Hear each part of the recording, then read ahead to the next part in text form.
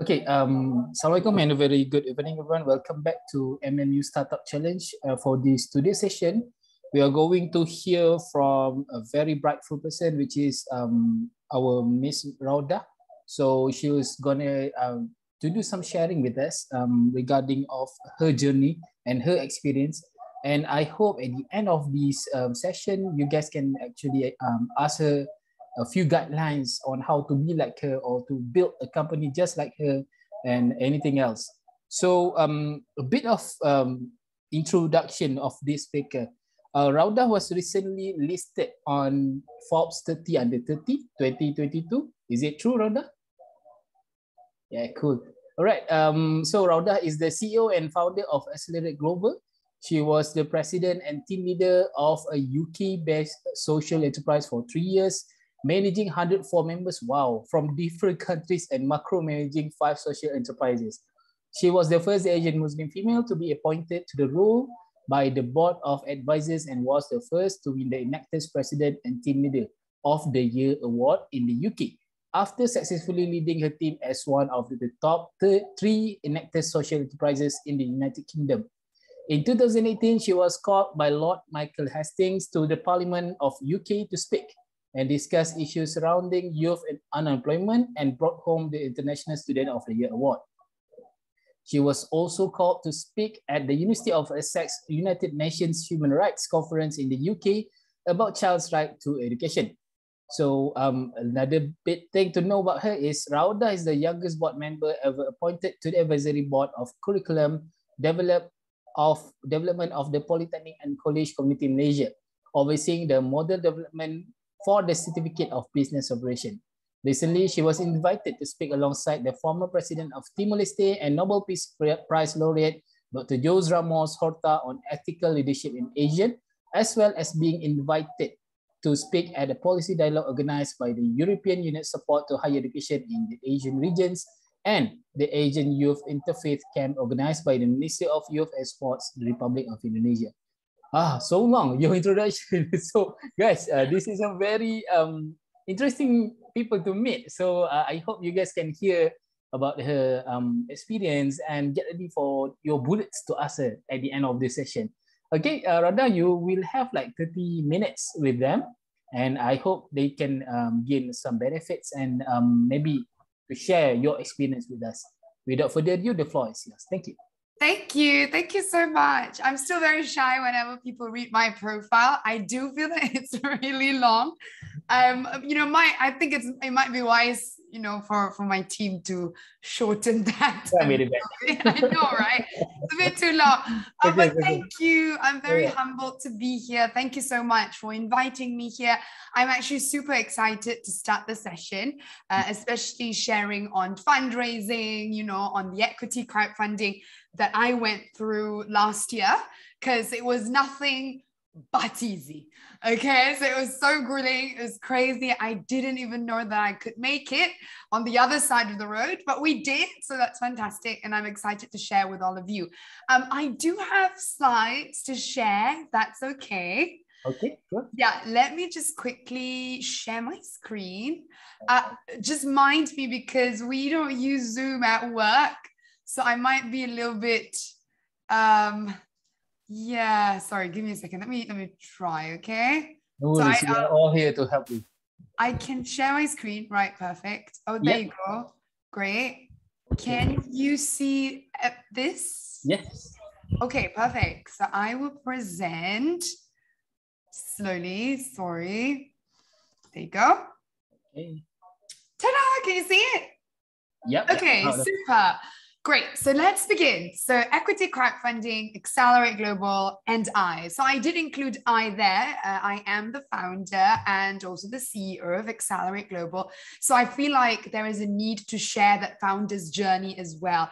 Because um, when you're the founder of, of your own startup, of your own social enterprise, of your own company, you do have an emotional attachment to it. And so there's also that, you know, you've got to have the ability to also manage your emotions when it comes to that as well, right? So the, the good and bad to make sure that um, you're not either too, too invested, but you're also not not invested. So basically striking that balance is really important, especially when you go for fundraising. Now, to begin with, I feel like it's important for me to first introduce um, who exactly is Accelerate, uh, what we do, in other words, and, and, and so, so basically to give you a bit of background before I talk about our journey of, of basically securing that funding last year. So Accelerate Global is a social enterprise uh, and our main bread and butter is we run upskilling programs, uh, particularly uh, with the underprivileged and the marginalized youth as well. And our aim is actually to develop and help them uh, start a business from scratch, from zero capital, uh, using whatever they have within their community and within their resources. So our bread and butter is upskilling programs. Our signature program would be our entrepreneurship and our career programs as well. Some of the um, questions that I've gotten is why do we choose to provide upskilling programs? Why did we choose that to be our main product, our main service? So I believe, uh, and the team believes as well on this, that we believe when it comes to tackling the issue of youth unemployment, when it comes to developing youths who are independent, who are self sustainable, uh, when it comes to building the next generation of not just uh, leaders, but also the next generation of responsible leaders, it's important um, that we develop and we provide them with all the skills and knowledge required so that they can take life head on. So it's not really uh, an easy path, I must say, you know because when you talk about providing upskilling programs the impact that you're creating is something that you don't just see instantaneously. It's something that you see right at the end essentially um, it's grueling but it's definitely worth it now these programs um, that i've just mentioned for the entrepreneurship as well as uh, for the career program as well are all actually built in-house which you will see in a bit because uh, it is a part of our journey of actually securing that funding as as well. But basically, in, uh, in, in shorter terms, in short terms, easy to understand, we're a social enterprise. We run upskilling programs. Our main aim is to, to tackle unemployment by giving the youths, especially the underprivileged and the marginalized, the knowledge and the skills they need so that they can take life um, head on. Now, given that we are a social enterprise, uh, we have the impact side, we also have the financial bit as well, meaning we must generate revenue, we must generate profit, and we must ensure um, that we're not only relying on donations, on grants, and that we ourselves, um, you know, we are financially sustainable. So basically, it's a, it's a challenge because, you know, you're running both at the same time. But um, it's a challenge that we all believe it's worth it, especially when you look at the end goal and especially when you look at the impact that um, you know we're all creating. Now, going to the story, which is very interesting. So, what I've done here, as you can see on this page, um, I've actually dissected our timeline from 2019 when I founded Accelerate. And then later on, you'll see up until this year, which is 2022, which also includes the time when we decided to, to go for equity crowdfunding. I feel like this story is somewhat vital because it kind of gives you guys a bit of background on why I decided to fundraise, why I decided to go for ECF.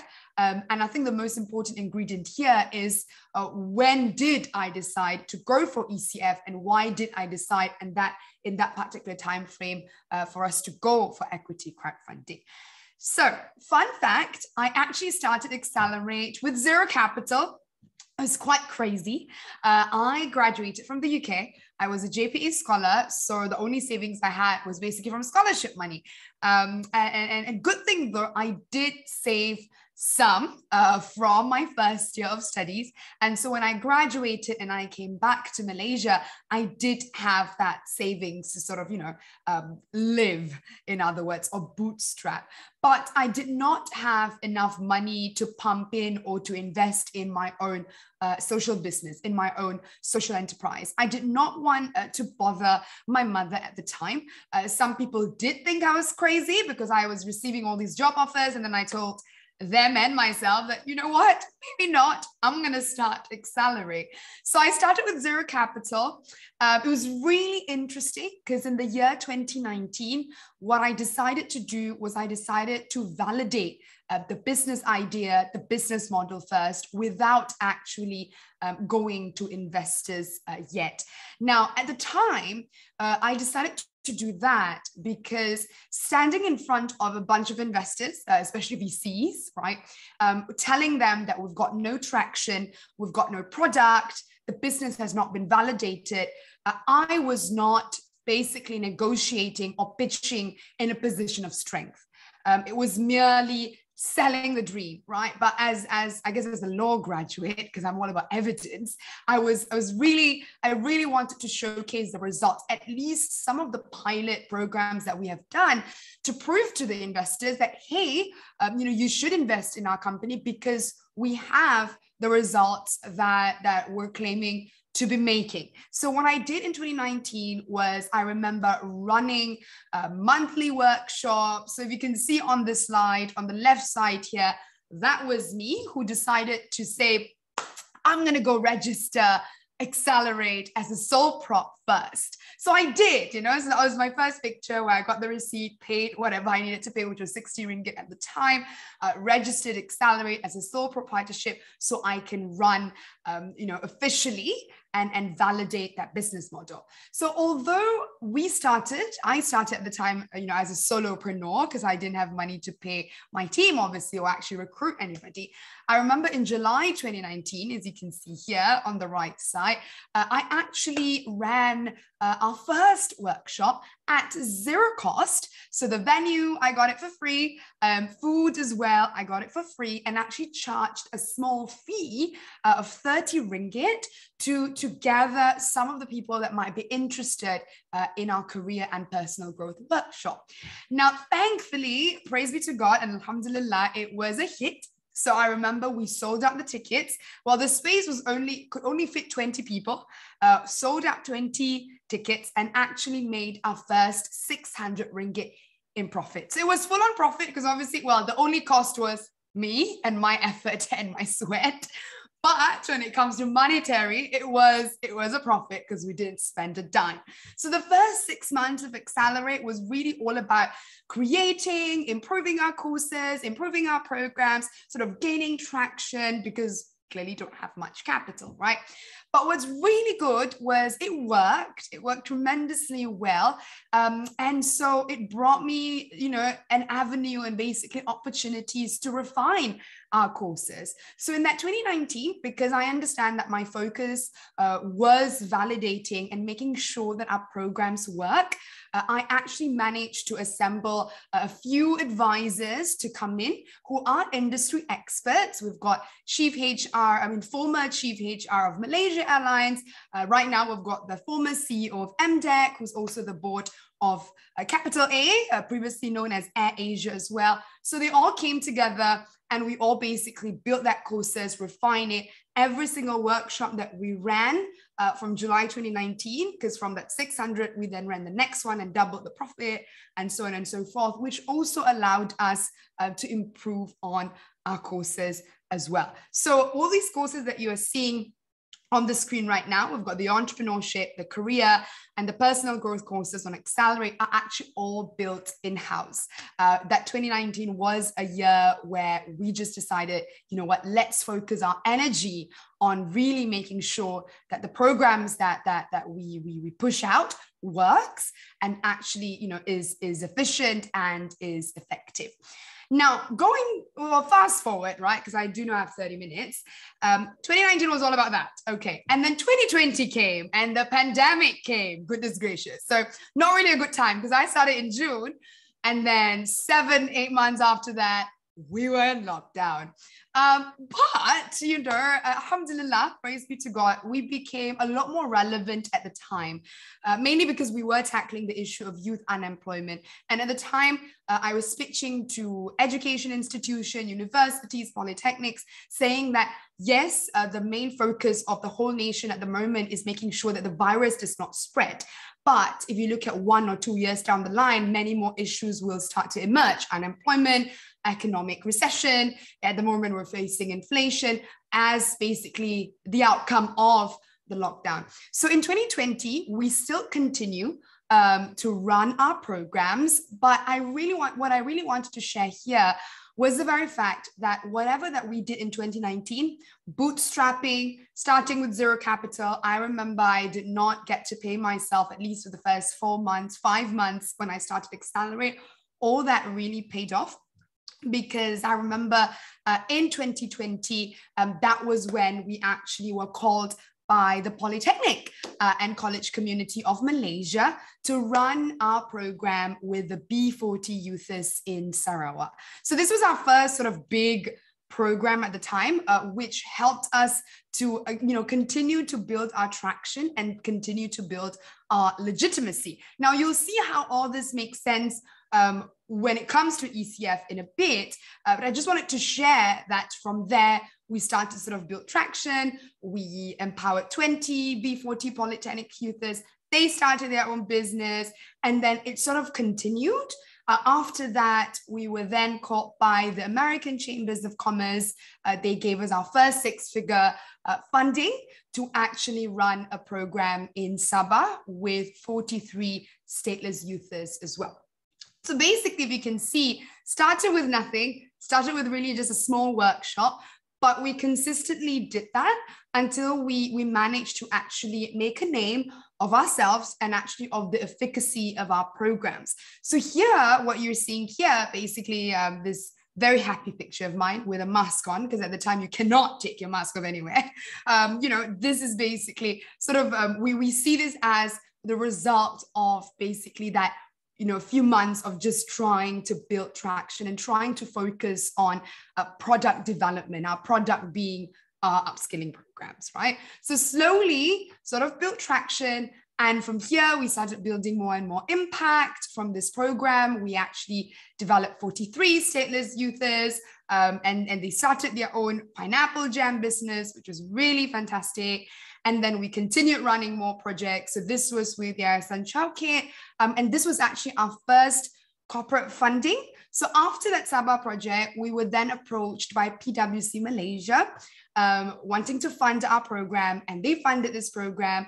We then uh, developed at-risk youthers to become micro entrepreneurs. As you can see, these are all our graduates who managed to start a business, um, who have generated income as well. So that, that is basically in 2020 and 2021. So what happened was 2019, as you can see, ideation validation, 2022, we built traction. Now in 2021, that's when we actually decided to go for equity crowdfunding.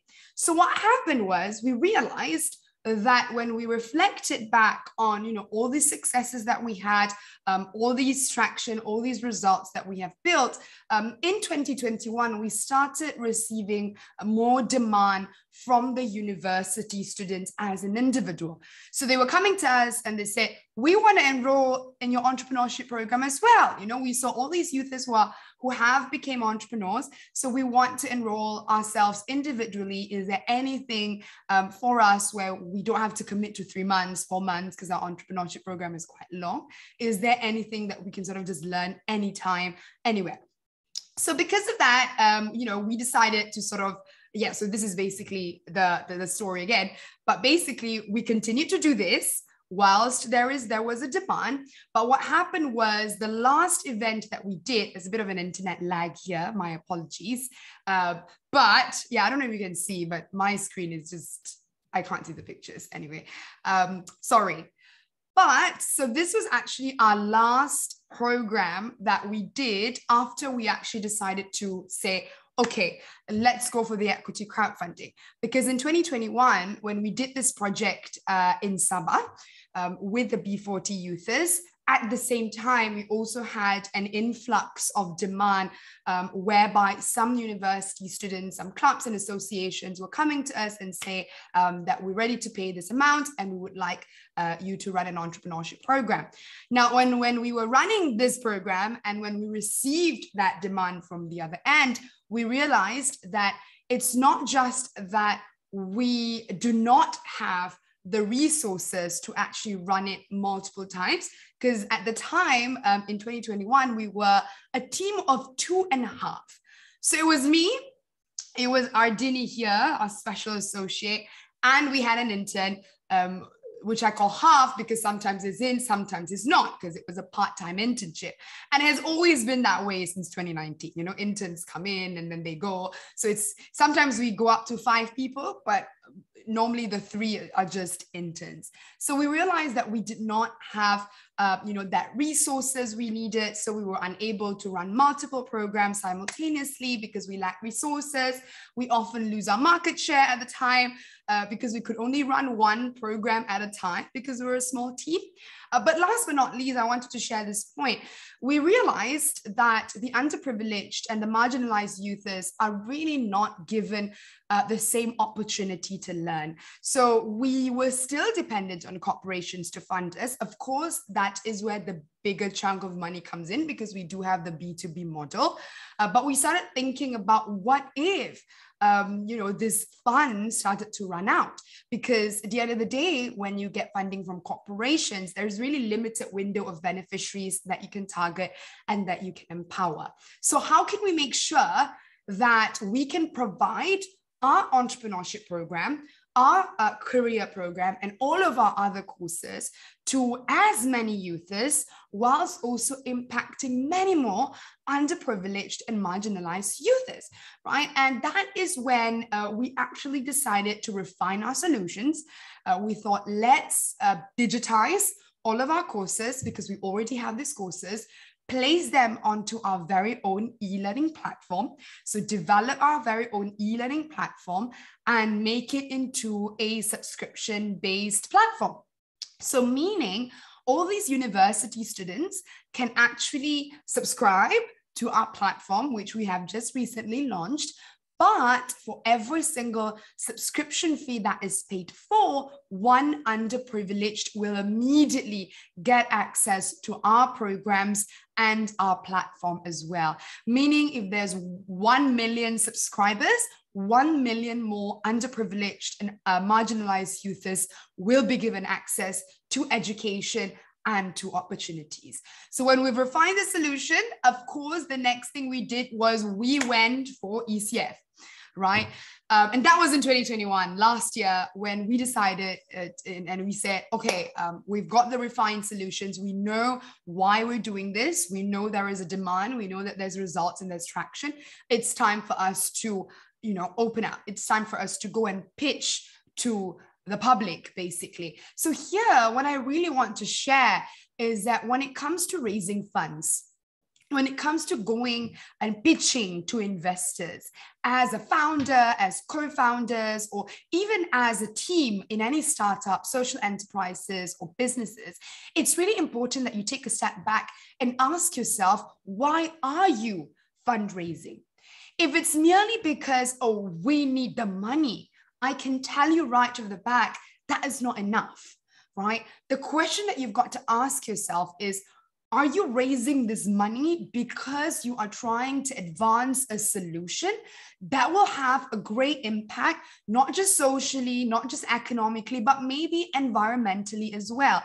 Because, you know, there's a lot of emerging businesses and startups out there or social enterprises out there. It's important uh, for investors, at least, based on my experience pitching with the, the ECF investors, they're always looking at what value can you bring to the table aside from just wanting to realize your dream what is it that make your idea uh, or your solution not just unique but also meaningful for the society at large i think that's really important um, and understanding that will actually also fuel you throughout the entire ecf journey as well so i can tell you that my experience was alhamdulillah and praise be to God, not too uh, stressful. It was stressful, but it's something that um, you know, we all anticipated. So we went for equity crowdfunding for three months. We closed in the period of three months. Uh, we raised above minimum ask, um, and and basically now we're we just launched our e-learning platform. So it's it really uh, the reason why I mentioned you need to understand why you're raising fund is because you know when you do pitch to investors later on it's not just about you pitching your business idea as well. It's actually also about the back and forths that you will do. And let me share with you uh, an experience I have. So, one of our biggest investors, um, no, not one, the second biggest investor, I remember he texted me um, three weeks before we closed our campaign telling me that, Raudhah, I think I'd like to pull out because I want to put that money somewhere else. Um, what, what do you have to say? Maybe you can increase my dividend because um, how I pay my investors is they get 25% dividend every single year if we reach our projected net profit. And I remember really just panicking because uh, you know what we need to understand is that because he's the second biggest investor, if he pulls out, we're not going to make the minimum. That means we're going to have to either stretch our equity crowdfunding timeline at the time, which was three months. It has to be four months. Um, or, you know, we're just not, we're not going to make it because with equity crowdfunding, it's all or nothing, right? So what I did uh, was, uh, first of all, I, I asked um, if he was happy to share which company um, he was looking to invest in. Now, uh, now something about this investor of mine, he's really honest, which I really appreciate. So he actually shared, you know, this is the company so and so. Um, reason why I want to invest in this is because the dividend is higher. It can help his children, which is a very fair argument. So what I did was I realized that this company is already a Berhad right? And I am obviously not a Berhad. And this is our first equity crowdfunding um, you know, exercise. So what I did was I actually took a step back um, and, and I took a stand um, and, and I told him that I understand if you'd like to go and if you'd like to invest in that Berhad company because I do understand that they have bigger dividend. Uh, but I was very honest with him and I told him that I believe that it's not fair to compare an apple to an orange because there's no way I can give you more dividend when this is our first ECF exercise. I then re emphasized on the value that he will be bringing to accelerate, not just uh, monetary as well, because he will also be bringing home that impact that we will be able to create as a social enterprise because um, he invested in the company. So, what I've done here and wh- why I really wanted to share this with all of you is because as founders, sometimes it's very easy for us to get intimidated right? So when investors say, no, I want, I don't know, this reward, because I do know that you guys are going for a reward basis, right? Or I want higher equity, or I want this, I want that. Um, whilst, yes, we most definitely have to be open to listen because sometimes there are constructive criticisms out there that we must accept. It's also important to take a stand for your mission, for your company, um, when and if required. And to do that, especially when you do go for a fundraising exercise, is to really understand the value that your company brings to the table. Um, and in my case, in Accelerate's case, uh, we were privileged because we, we, we were on the route of validating and then going for um, the ECF round. So meaning we were negotiating or we were pitching from a position of strength, at least in our case, of course. And I feel like our case is, is required, especially when it comes to upskilling programs. You cannot just say that, let's run this and then you've got no results, right? So that, that's where the strength comes in for Accelerate. But bottom line is when you go for ECF, you need to understand that value. You need to understand why you're doing it. And last but not least, um, this is very important, it's the honesty that comes in as well. Um, I want to share with, with, with you guys that when we ran for ECF, I was ready to to you know struggle a lot more uh, but what really helped actually was um, the honesty that we as a team brought to the table when we pitched So we didn't really sell big dreams. We're going to go IPO at this valuation, that valuation, right? So we were really honest in terms of, yes, we are new. This is our first fundraising exercise, you know, but these are our track record. And if you believe in it, come on board. If you do have questions, come on board. And we were also very open to actually share the struggles that we were facing as a team in order to get extra support from the investors. Um, and you will be surprised as to how these investors really appreciate vulnerability. They really appreciate honesty because it's you know, it's a breath of fresh air right? So it's not just lies and numbers, or, or not lies, I would say projected, right? Um, it's really also honest conversations that you have um, with the investors as well. So in that three months of actually pitching um, for ECF, we in sorry in that three months of timeline, we actually only pitched once in that three months. And after that one pitch, uh, we we had we, we reached the minimum for pledges and then it was just time for them to basically put in the money. Um, and alhamdulillah, and praise be to God, it was it, it, was well. So every time people ask me, you know, how come you only pitched once, right? I, I, I believe the key to that was actually the, the honesty that we as a team um, bring to the table as well. So it was like an open conversation. Yes, I pitched, but I'm also here to tell you, um, you know, the, the issues we have at hand the projected net profit why is it not as high perhaps? You know why is it um, you know uh, reserved i'd say uh, or conservative numbers? And and why we want to do what we want to do. So yes uh, those are the things that i actually wanted to share um, now, before I, I, I, wrap up, I wanted to, to also share that we're so humbly proud as well when we closed the ECF. Uh, we didn't know this, uh, but but the the the uh, ECF provider actually told us this that last year we were actually one of only three social enterprise that actually have had a successful equity crowdfunding, and the only one during COVID nineteen pandemic. So it was uh, it was a really humbling experience. We have 69 investors from all over the world. They actually came in July last month for our launch as well. Um, and, and something that I really love about ECF is you have a pool of investors, you know, who, who really have multiple expertise um, and, and they, they can and they will be available for you if you'd like them um, to help, basically. So there it is. So um, that was 2021. And then we closed it in November last year 2022, which is this year, we now use the money to scale up and um, hired our board of directors officially. So you can see we've got four board of directors. We've got uh, Med on the left side. He is currently the CEO of Impact Malaysia under Ministry of Youth and Sports. We've got Claudia, the former chief HR for Malaysia Airlines. There's Puan Shireen, um, who's the CEO of Yayasan Sejahtera and former CEO of MD, uh, sorry, um, of Talent Corp.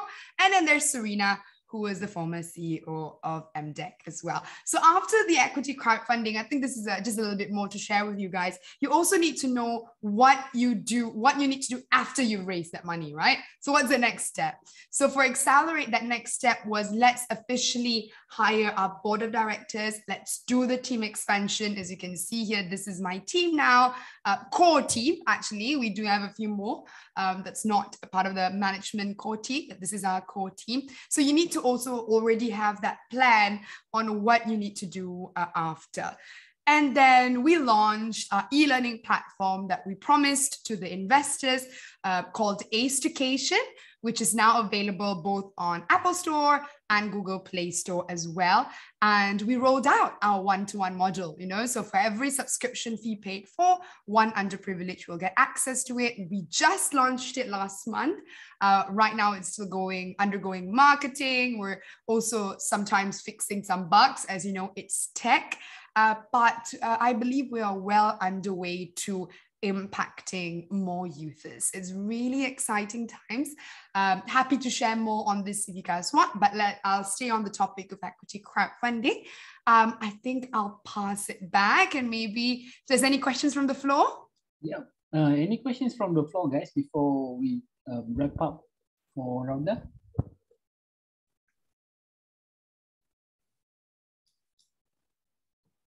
Yes, and I think uh, you want to talk, but we cannot hear. Sorry, hello? Can you hear? Yeah. Okay. Uh, I do have one question. Um, how what what is like your one sentence like motivation mo- motivation or inspiration for us Wow. yes For, for you, okay, let me maybe answer for me first. And Okay, then okay. you can you can relate. Okay sure Um, yeah, thank you for the question though. So my one motivation, well, let me go back to my slide because it's actually on my slide. My one motivation is them. It's it's it's my graduates, it's my beneficiaries, if you can see. And my screen is up, right? It's it's you get okay, okay, just in case. So Hanif, Erin, Afifa, these are just the three graduates that we have but seeing them graduate, seeing them able to improve their livelihoods, uh, it's my biggest and brightest motivation to wake up every single day and, and do what I do. So I think for you guys, um, I wouldn't say there is one motivation. It's, it's not a one shoe fits all, right? Everyone has their own motivation. And I believe as an entrepreneur, as entrepreneurs, it's really important that you find the one motivation that really connects to you on an emotional level as well. Because entrepreneurship journey is uh, not easy. I'm here smiling, happy, presenting. It's just who I am. The team has has deducted that. You know, it's just who she is, no matter how stressed out she is. Um, but it's it's not always smiley. But what really keeps you going is that emotional connection you have um, to the business, to perhaps your customers, to your beneficiaries, to your graduates as well, in my case. Some people think that um, emotion is dangerous for uh, entrepreneurs. I believe emotions, healthy emotions, is really vital to keep the company going. So it's a balance, actually. I hope that answers your question. yes it does thank you I hope you get inspired after designer from that. yes yes your uh, the shoes of your customers and that will be your inspiration. Mhm. Um, next, uh, do we have any other questions from you guys? Uh, I have a question. Ah, yes, please. Uh, I wanted to ask, how do you get your name out there as a startup since you started at zero capital? Yeah, a very good one. Uh, It was Pritesh, wasn't it? Pritesh. Yep. Okay, cool. I saw the name correctly. So when I first started um, getting my name out there, so I was a 23 year old, right? So this is in the spirit of being transparent.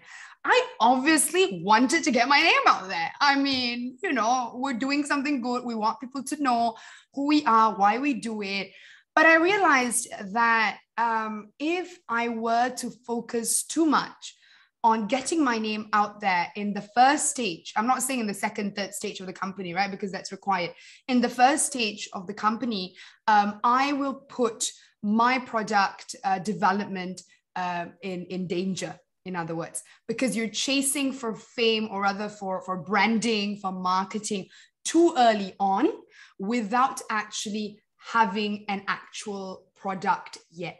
So I'm not too sure if you guys have, have, have read this book. It's called uh, Startup CEO. I forgot who the author is. Now, in that book, it says that there are two elements when it comes to starting a business, social enterprise, or startup product development and also actually in market, right? So you being in the market.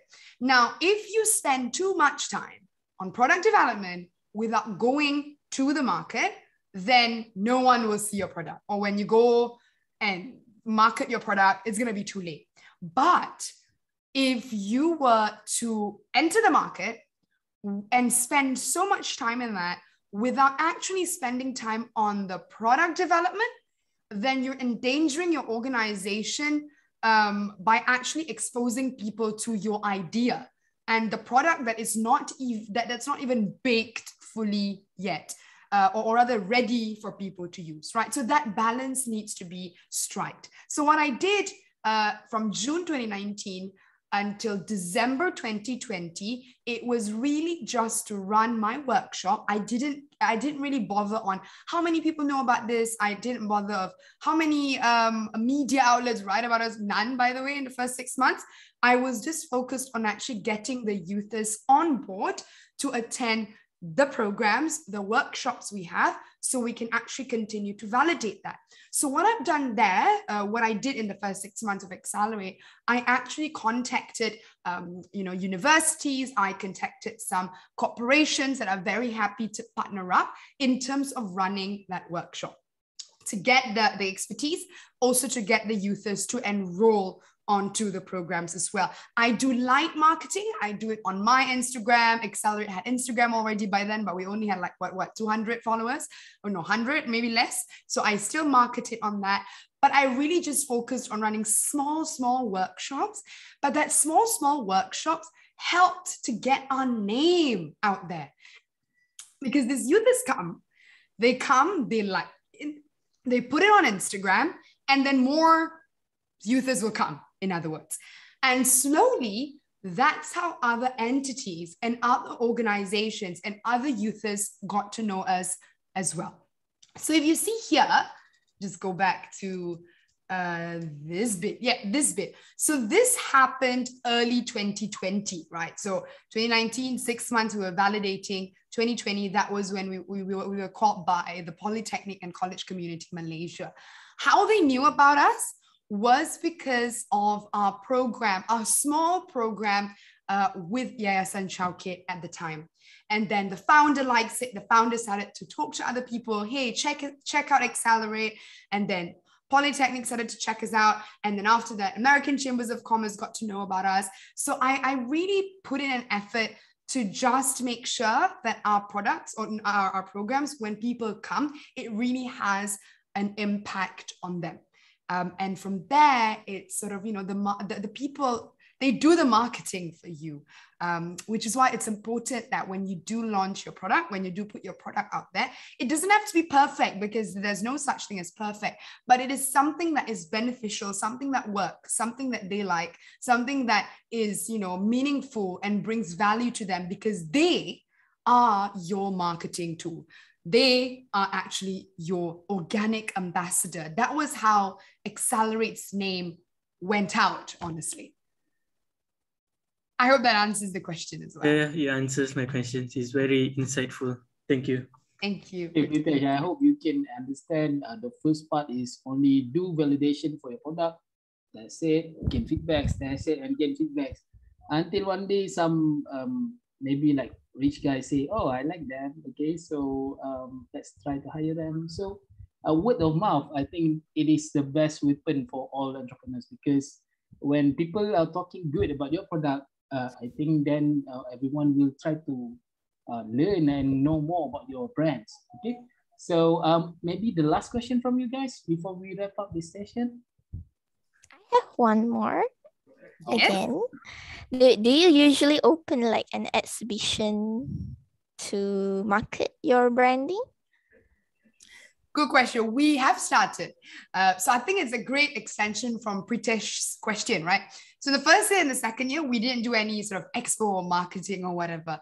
We only started doing it uh, this year because we are launching Ace Education um, the, the e-learning platform that I was talking to you guys about earlier.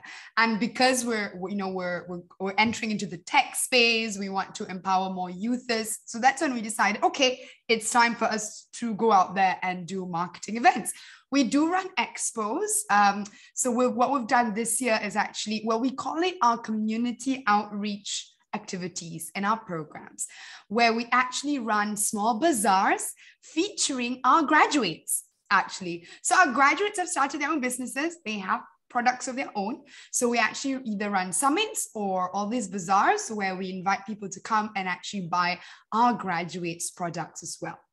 This, um, we believe, is a great. It's not just a marketing tool, you know, it's actually also an exposure avenue for our graduates to go out there. Um, we believe at Accelerate, the only way to market accelerate is really through the results of our programs. And our graduates are our results, right? They they are they they they they they're accelerators. They are part of accelerate. Without them, there's no us. Basically, that's what we believe in. And so when they market the product, it becomes such a great marketing and branding tool for us because people get to see the result. So in any case, it can be a uh, you you can sell a product or you can sell a service. The most important thing is people must see that result right? Because we're all results driven at the end of the day. When we buy products, at least for me, you know, I'll see which one is good based on the review or whatever. Um, and as long as I get to see that, it's great, and I'll buy it. And when when people see our graduates, it's it's such a great story to tell without us having to say much, basically. So find that for your business, right? Okay, I think that will be the last question for this. Okay, thank you. Thank you so much, Raudhah, for um, the insightful uh, sharing of your experience.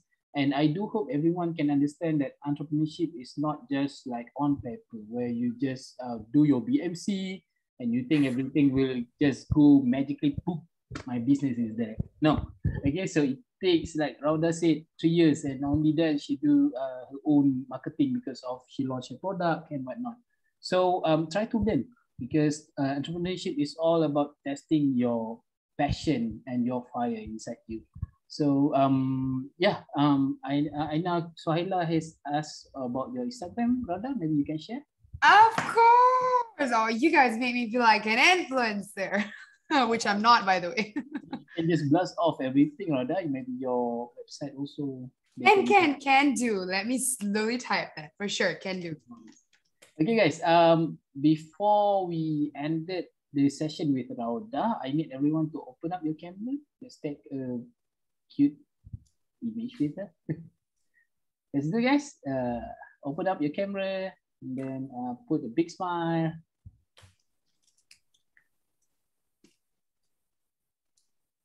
We don't have so many participants in here, so I hope all of you can Okay. open. If not, seems so kosong here.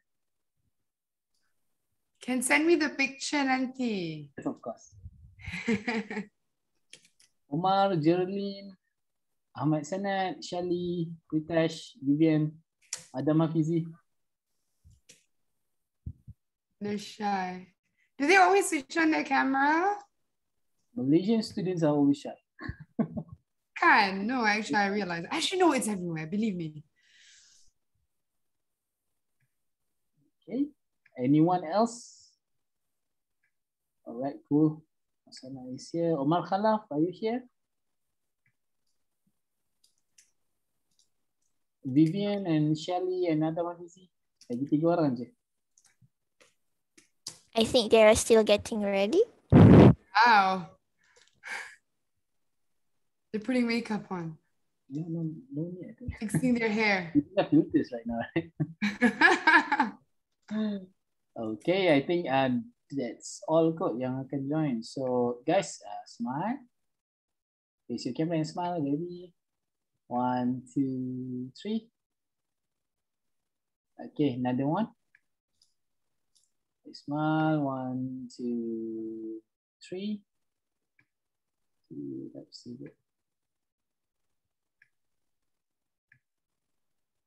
Okay, thank you so much, guys, for your participation. So, um, Raudhah, right now we are going to hear from them. Uh, there are two minute pitches. If you do have time, uh, you can just stay. But if you need to do something else, uh, I think you can um, take your, yeah, maybe uh, do that job. Right. So, um, right now, uh, let us start. Uh, thank you so much again, Raudhah. Let us start with the pitching session. Let's call upon um, Pritesh. You ready for your pitching? Uh, for my group, uh, Najmi actually will be pitching for us. Who? who? Mm, yes. Najmi. Uh. Najmi. Oh, okay, Najmi. Okay, one second.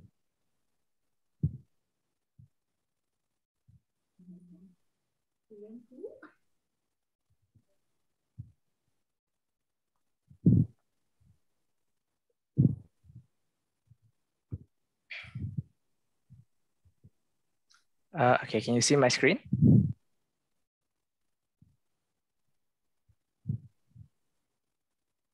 Are you ready? Okay.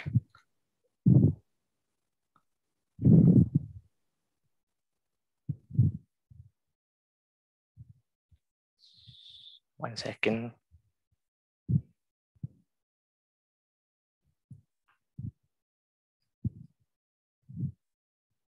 Okay, so hello everyone. My name is Najmi and today I'm going to present about our business venture, which is uh, Bare Necessities. So Bare Necessities is a um, it's an art-centric business that manufactures collectibles uh, such as mechanical keyboard keycaps and also minifigures. Okay, so moving on to the problem statement. Uh, so recently in the past few years, the keyboard community in Malaysia has been expanding in a, a very high rate. And um, what we realize is that in Malaysia, there isn't a lot of local manufacturers that, ma that manufactures these uh, collectibles. And thus, most uh, Malaysians actually go international to find their products. And well, this is a problem because internationally, the price is actually very high due to our currency exchange and also uh, they have to pay international shipping. And well, that's where bare necessities come in. We provide unique customized keycaps and other uh, collectibles for an affordable price by locally sourcing the materials to make the keycaps at, at, so that everyone can actually buy them. So for our market, we are targeting two demographics, which is the keyboard enthusiasts and also the merchandise collectors. Okay, so uh, these two demographic usually would converge at uh, local geek expos such as Comic Fiesta and Animangaki. And to take a look at how big our market size is, we can actually take a look at the average attendance for these geek expos. For example, in Comic Fiesta, uh, there is an average of 65,000 participants every year.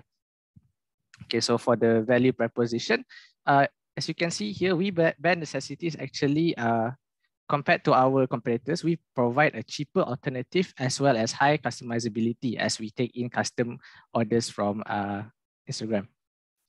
Okay, as for our revenue, we have two uh, revenue models.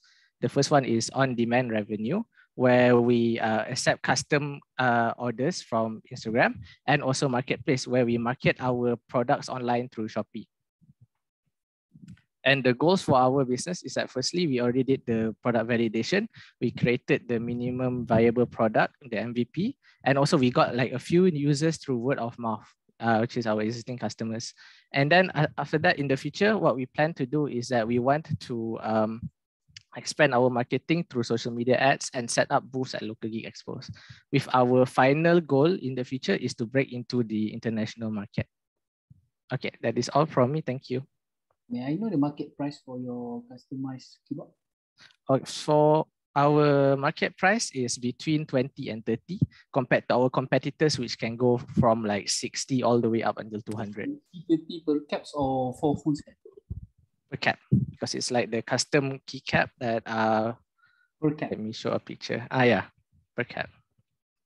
Okay, um, my next question will be um, on your market. Can you move back to market? May I know why you only focus on um, based on your evidence, which is Comic Fiesta and Animangaki? Uh, sorry, can you repeat the question? May I know why you focus on this market, which is um, you, you focus more on Comic Fiesta and Animangaki? Oh, uh, this is because in these, uh, for example, the expos, these people are the one that are very interested in customizing their equipment and also collecting um, artworks for their uh, favorite, for example, game or like uh, series. So I think our market will be here, and this is where we're going to have the highest uh, chance of success. Our so this, this is based on events, right? So what about your daily sales? For daily sales, so far we just started, and uh, we have gotten uh, we mostly market through Instagram right now, and so far we have gotten around 200 ringgit in revenue after oh. starting last month. All right. Um, how about TikTok? Have you done any ads on TikTok? Uh, we have started to make more TikTok content, but we're going to be pushing it more soon. Okay, guys, can you just, um, if you do have like TikTok account, put it in the chat box so we can follow each other? Uh, we do have the QR code here also for scanning.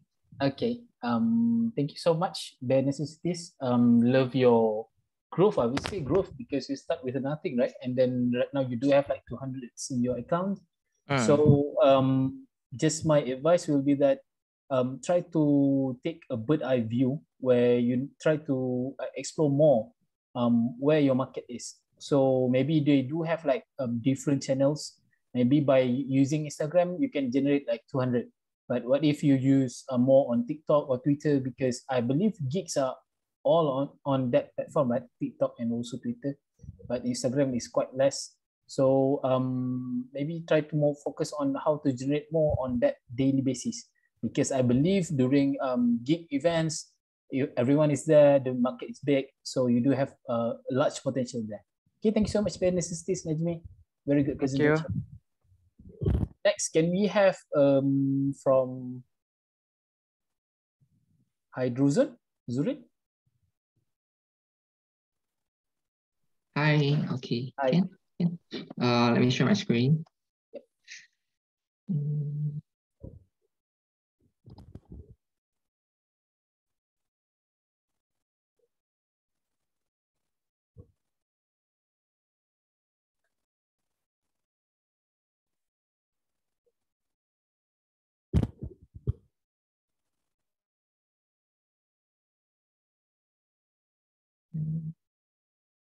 You may start whenever you're ready. Yeah?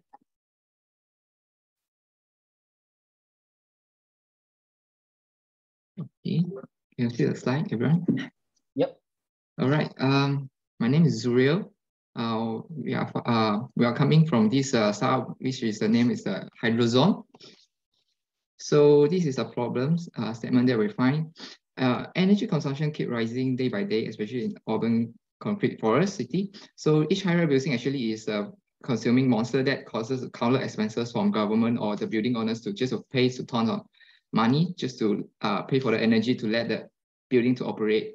So furthermore, in these urban cities, there is scarcely no opportunity to adopt into renewable energy like solar panels, wind or hydropower, as the land has been developed with numerous highest building and also the highest building itself is has a limited space to install any uh, solar panels.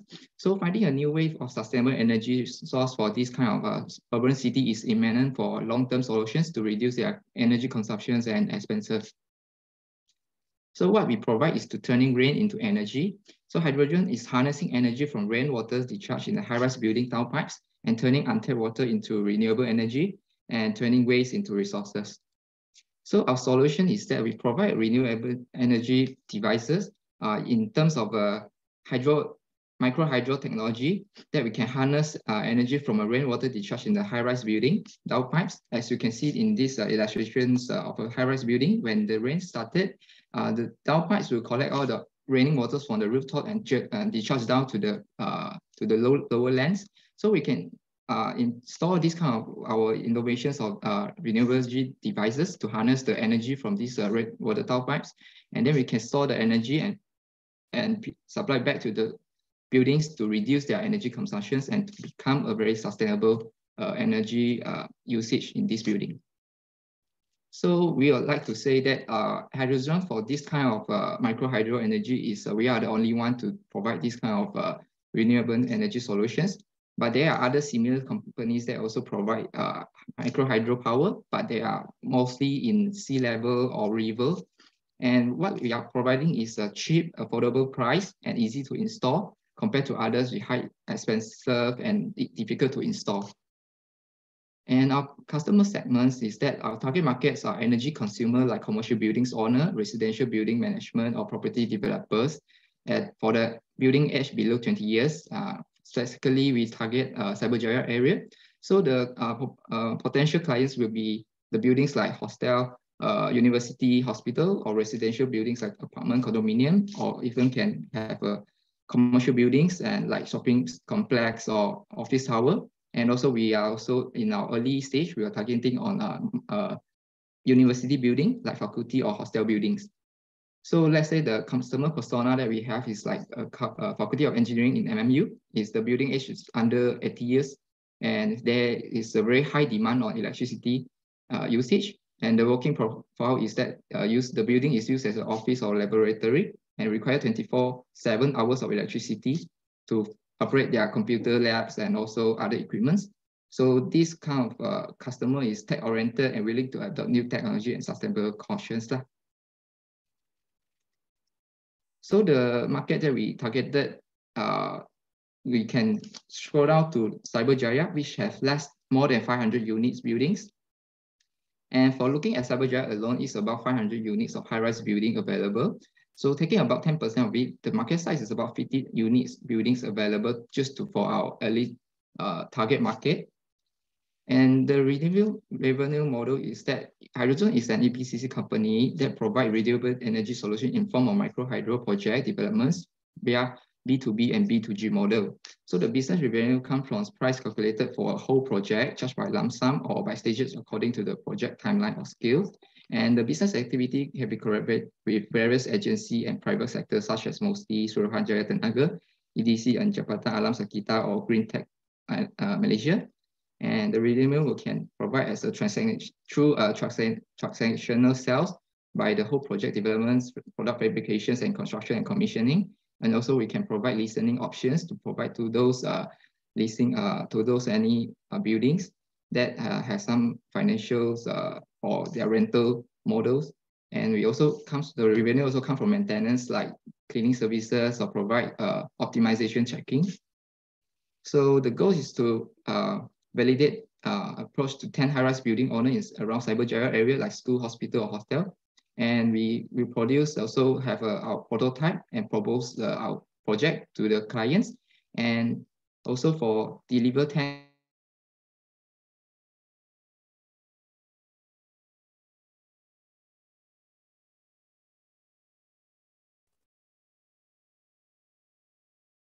Guys, is he stuck or I am? Hello?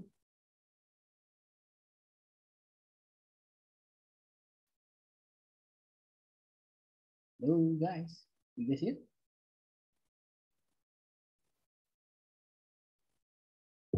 Hello? Zuri, can you hear me? Hello? Yeah, yeah, yeah. We, Okay. yeah, yeah.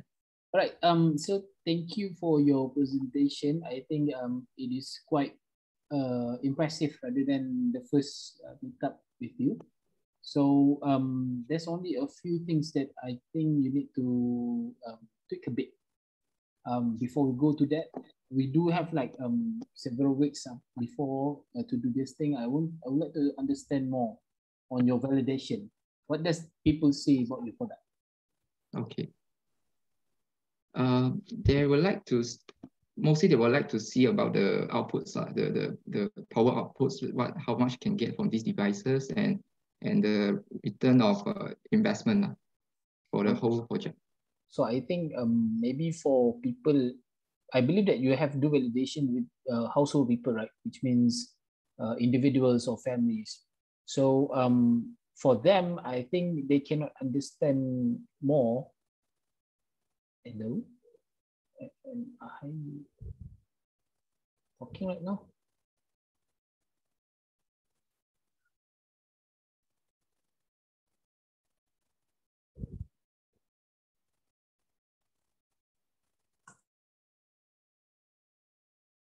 Sorry, um, is everyone here?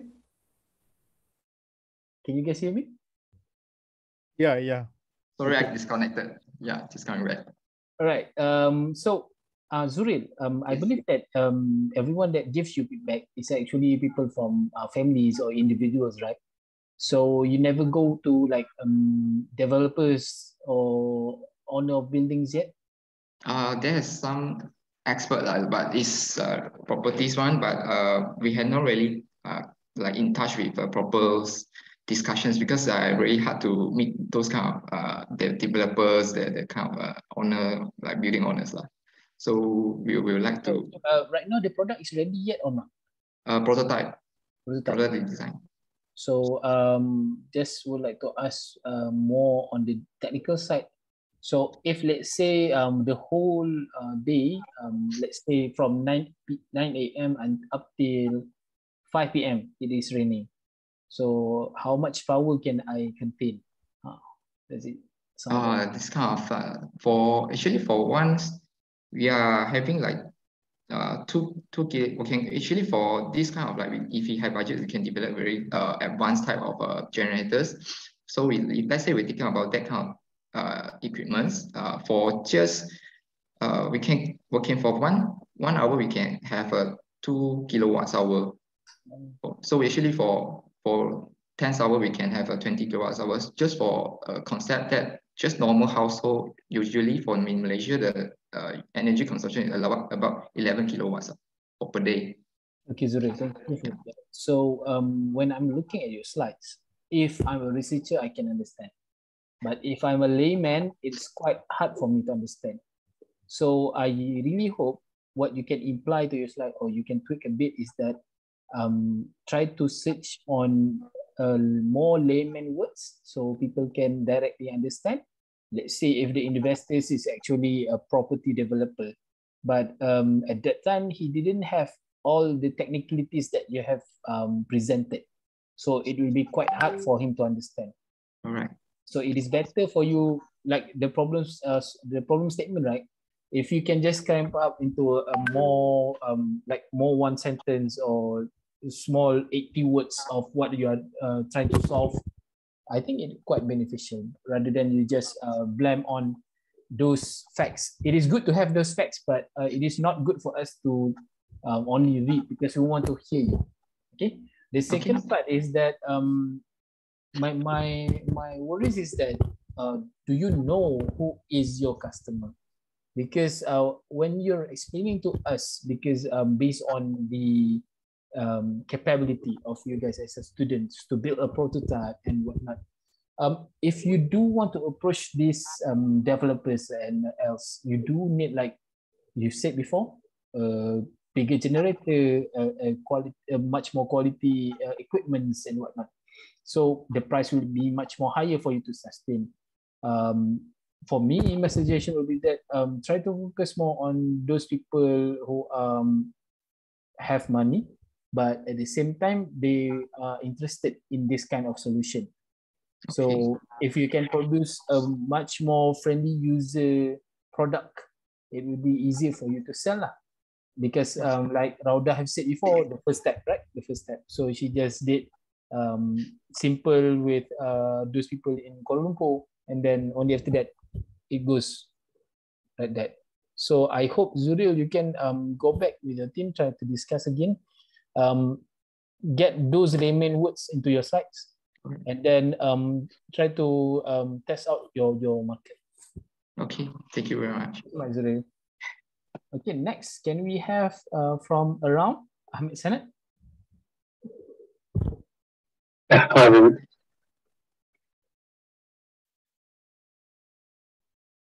Yes, Ahmed Sanad? Yeah, just give me a second. Oh, you can see my screen? Yep. Okay. Hi, everyone. My name is Ahmed Sanad, and today I'll be talking about Around app. First, let's understand the main problem. Everyday life is becoming easier by using different apps. Only one huge field has failed to be simple finding the right person to get your service done. Finding the right person without going through the hassle of searching all around the internet, looking for reviews, or actually trying to find the best price, picking a date for them to come. It took me too long to say this sentence, as it took every one of us to reach out to professional service providers. It's time for a change. Market is in need of an app that provides a variety of services without the hassle of asking around. It's a simple tap and you're connected to many professionals around you. In order to understand more, let's see how Around works. From a business owner's side, if I want to open a plumbing shop, the only options I have for customers to approach me is by creating a website or an app. But these solutions are very expensive on the other hand, if I create a Facebook page, I will not be able to reflect my business identity and list all the things I want. Around fixes all of those issues by allowing business owners to create their own profiles. So the plumber can reflect his business identity by choosing the theme color, creating multiple pages to fit his need, and listing his products as shown in the picture. And for the first time ever, Around allows the business owner to list services related to his category. So instead of the plumbing shop selling plumbing tools only, you can get more profit from plumbing related services like fixing your tap. From a customer side, a customer looking for someone to fix his tap, will no longer need to search online or call businesses or individuals. To get around, I can click on the fixed tap service, take a photo, and explain my problem. Now nearby business owners will be notified, and instantly I will be paired with multiple offers from. Here, I can accept the offer I like the most, and my request is confirmed. It's very easy. Compared to our competitors on the market, Around is the only app that provides everyday services and products customer needs with the budget they have. It provides unique tools for business owners to connect with their customers, no hassle.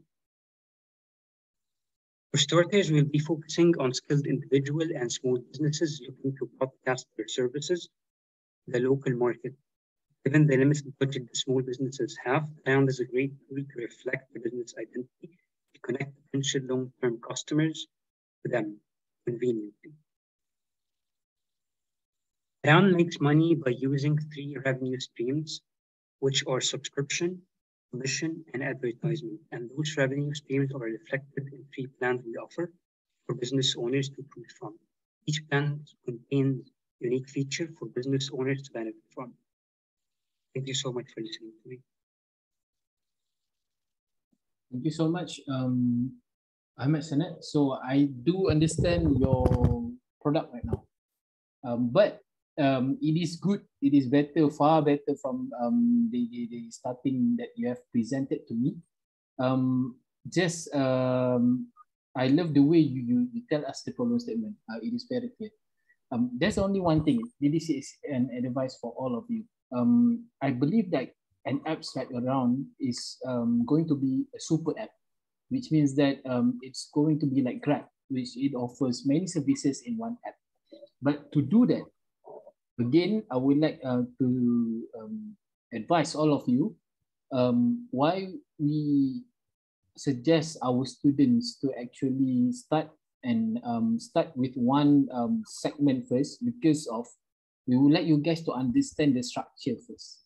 Which means that um, after you're getting the, the structure, let's say like around you you, uh, you support for the plumber services and also baking services, um, the things that you need to understand is that um, I will like you to have a moment or a period where you can fail and you can fail fast, which means that um, let's say if you uh, try to test out with these two market, which is uh, bakery and also plumbing, and then uh, for let's uh, say like in three months and then you see uh, which structure or which segments are much more better you try to focus on that one because of that structure is currently working and you do not have to waste your money on um, other services that is not wanted by people so that same goes to all of you which means that um, if like um, people, um, bare necessities before uh, they want to do like lots of things, which is first uh, customized caps, and then uh, they want to do like, um, merchandise and um, what the services.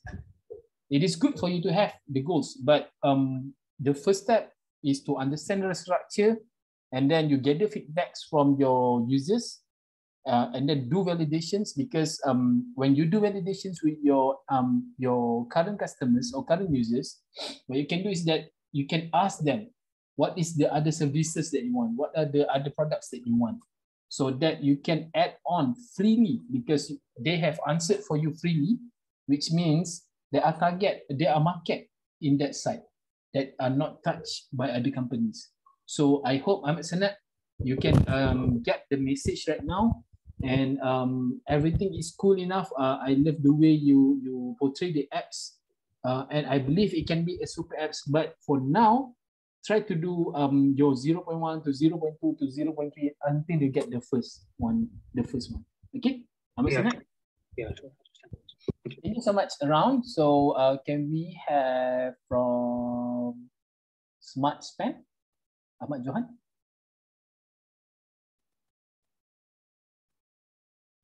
Smart Spend, you here?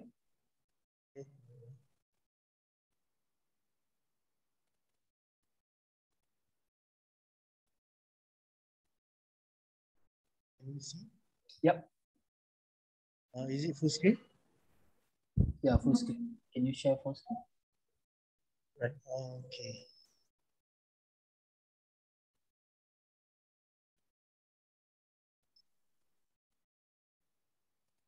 Uh, good evening, everyone. Can you hear me? Yep. Okay. All right. Good evening, everyone. Uh, my name is uh, Ahmad Johan, and uh, I'm. Uh, sorry, sorry. Can you uh, click the present button because it is still uh, small? Oh, uh,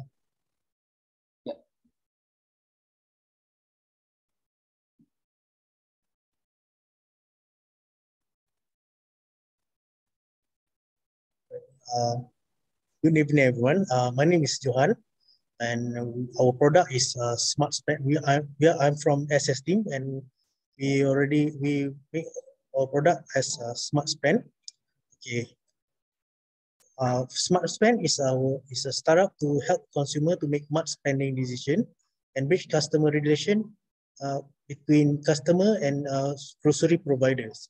So our goal is uh, to be, be a, a information provider for regular customer to shop every day. It's also the problem statement for this uh, shopper often buy product that are low quality and then they experience uh, misleading misleading advertisement of product. And the third one they the product um, provider do not meet customer expectation. So our proposed solution is uh, we provide a second opinion by our ai to cater to the personal reference. So another solution is to prevent to present a verifiable and summarized information based on several parameters and the third one to assess the worthiness and the value of the product. Okay, so here, so so what is our what we do we do is uh, we provide a credible information to customer on the product they want to spend, and we we were we are here to entrust to cus- to uh, shoppers to, to a pool of qualified product and uh, we uh, we can uh, be a, a bridge uh, provider to for the quality insurance certification. So our potential market is uh, regular shoppers, individual family with uh, budget constraint. Uh, so it, it, it is a design for an app for everyone. Uh, the big data, big data, and uh, pro product insight to everyone. So based on, on our market study, we uh, have asked 67 respondents before. 86% have uh, ex experienced uh, buying useless item. So then uh, when we ask again, 67 respondent, if, if there's an app, if there's an app that can suggest you what the item you might need, and 83%, more than 83% of them say yes, uh, they will they will use an app like that. So here is our competitor outlook. So basically, we found out that we have a Fig, uh, Fig, Jollyguard, and VVD. What they do is a Fig is uh, a product is uh, uh, focused on the health product, and VVD is focused on a wine product. They they scan the they scan and they disclose product detail and product review.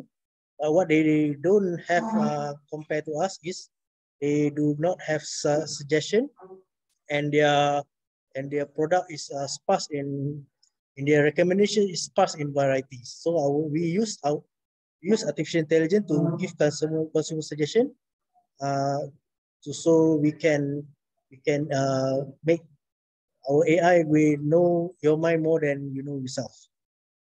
Okay, so uh, we we this is how our product works. If from user, if you open your phone, you can uh, for our open your open uh, our apps. You can look uh, search for item brand, and then uh, can then you can have uh, product suggestion. So then we can connect to uh, uh, uh, available vendors nearby you. So from geolocation and supply chain information. So then you can uh, either can shop from online or you can go to the physical store itself. So this is our survey. So this is video of survey we have done. Uh, can play.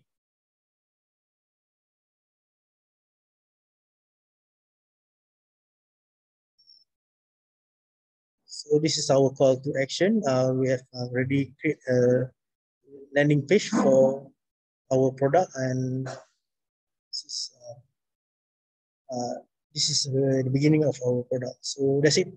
So thank you. Uh, uh, so our our slogan is uh, spend it, use it, and don't waste it. Thank you. Thank you so much, Ahmad Johan. So my first question, orang nak jadi apa sebenarnya? You, will you guys be like um, Shopee or will you guys be like uh, Grab Market? For us is uh, right. For us is uh, we are. I think our the novelty is we are not going to either of them. Uh, we're not going to be uh, e-commerce or an, an app. We are the uh, information providers uh, that uh, makes people life easier. So let's say that's the value that you're providing. Um, so how are you going to charge your customer based on that? So basically, uh, we collect data for user generate data.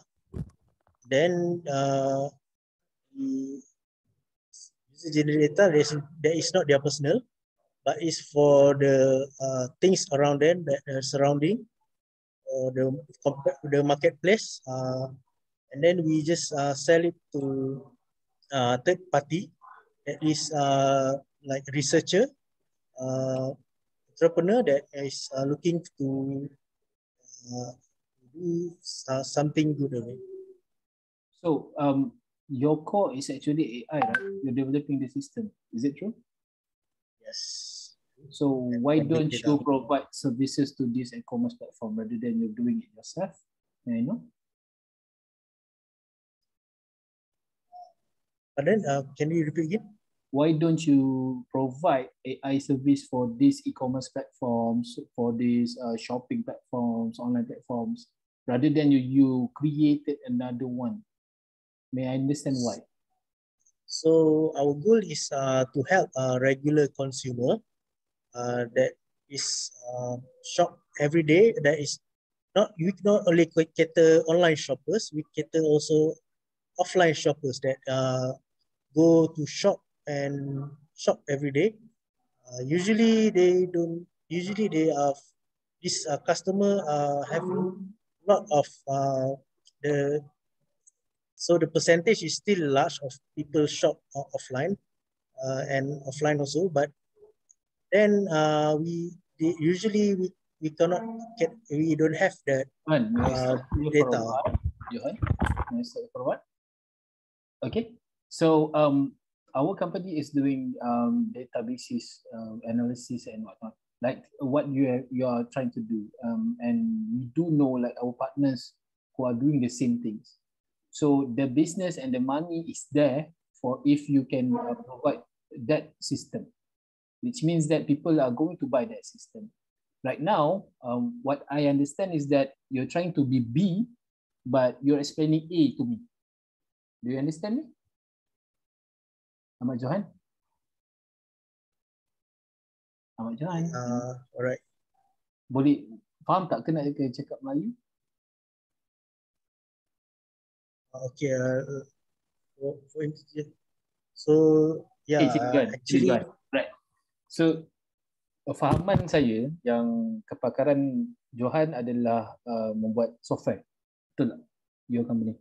I I have a team uh, for that. Uh, not say that I'm uh, expert on that. I have, but I have team of expert. Okay. On that. So AI and data that's, science.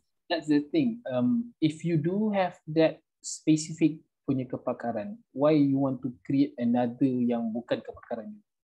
Which means if you're creating this, you are trying to compete with those um, companies that yang saya dah cakap. Which is uh, why you want to compete with Lazada, with Shopee because they are doing the same thing. But the lacking behind them um, is only that the AI. Okay, imagine if Lazada, Shopee can do as the same like if we are surfing TikTok. Okay, TikTok AI is like jelly if you're watching 8 a.m. until 10 a.m., you watch this. So they deliver that kind of content. 10 a.m. until 12 p.m., that kind of content. So that kind of AI is not there in our um, existing e-commerce platform. Let's say if I'm buying diapers for my child in Lazada, and after a few days, they are bla- they are blasting me like ads of diapers. I don't want that because um I'm I want to buy another necessaries things that I need to buy. So that kind of AI is not there. You got me right now. So that is why um according to can you go back to your um, competitor analysis?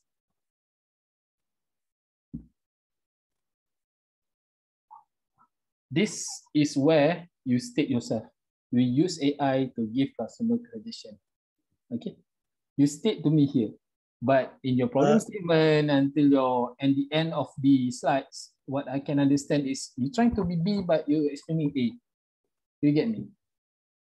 Okay, uh, so the thing is about our competitor, they just uh, they just uh, cater to a single single market. Uh, just like Fit and Jolly Gut is a, a health product. Uh, health is a health product review. So, but us, uh, we cater to everyday stuff that, uh, like say, want to buy a Milo. Milo is uh, any just any place I got Milo. There's a different price, different price of the each of shop. So we help them. But let's talk about practicality. Can we?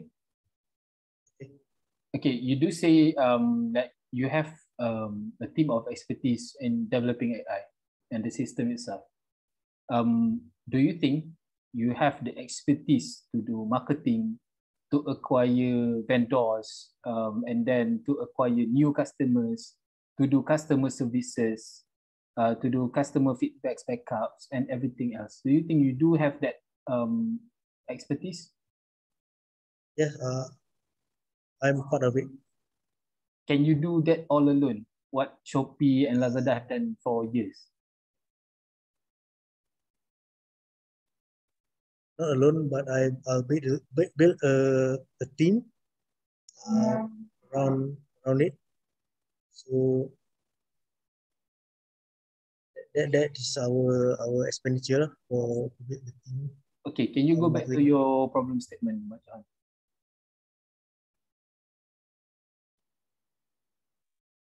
Okay, can you read again to me about this? No, no, no. Uh, the, the first one, the first part. Shop, shoppers are often buy product that are low quality. No, no, uh, the first part. The first slide. Uh, oh, okay, here. Uh, can you read me again? Startup is set to help uh, smart spending decision and reach customer relation with uh, reach customer relation with grocery provider. Mm. So grocery providers, um, it does not relate to yeah, because I I feel like you you're if you're not agreeing with me that you're trying to explain B but you're doing A, then I would say my assumption will be that based on your um, slides is that uh, you're trying to cater everything. That's the problem. Okay, because here you want to only bridge customer relations and make spe- uh, smart spending decision for the customers. And um, you want to build bridge between customers and also grocery providers right? Okay can you go next? Here you say that uh, shoppers buy low quality and then false misleading advertisement and product providers do not meet customer expectations. So it is also a different um, problem statements so that's why I'm, I'm saying that um, if you want to start, um, I, I, I don't say that you cannot uh, do smart spend, but you need money to do that. Okay, you need large amount of money for you to produce something like Grab, something like Shopee, something like Lazada, and um, something like you have said before. If you don't want to be like e-commerce, uh, that's your opinion, but um, that that will be it. If people go in and buy things, or people go in and see things like carousel and whatnot, and you bridge them, it's an e-commerce platform. So um, it does not run from that.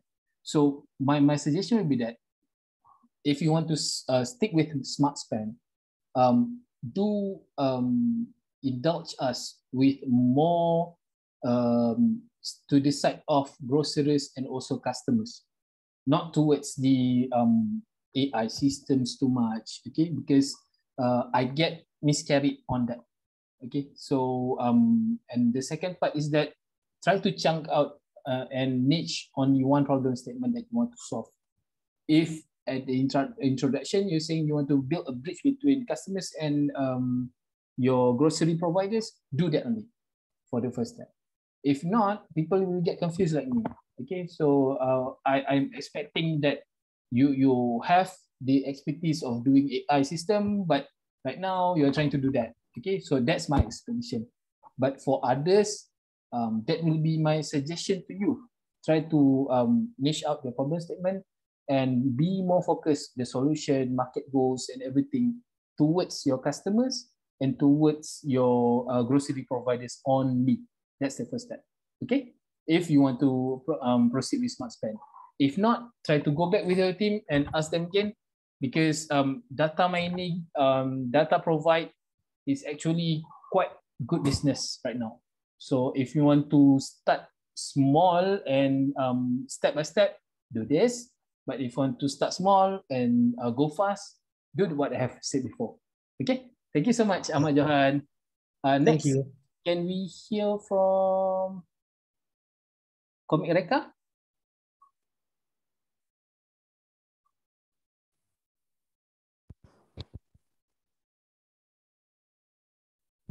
Hello, can you hear me? Ya, boleh dengar. Boleh. Okay. Sekejap ni, saya share screen.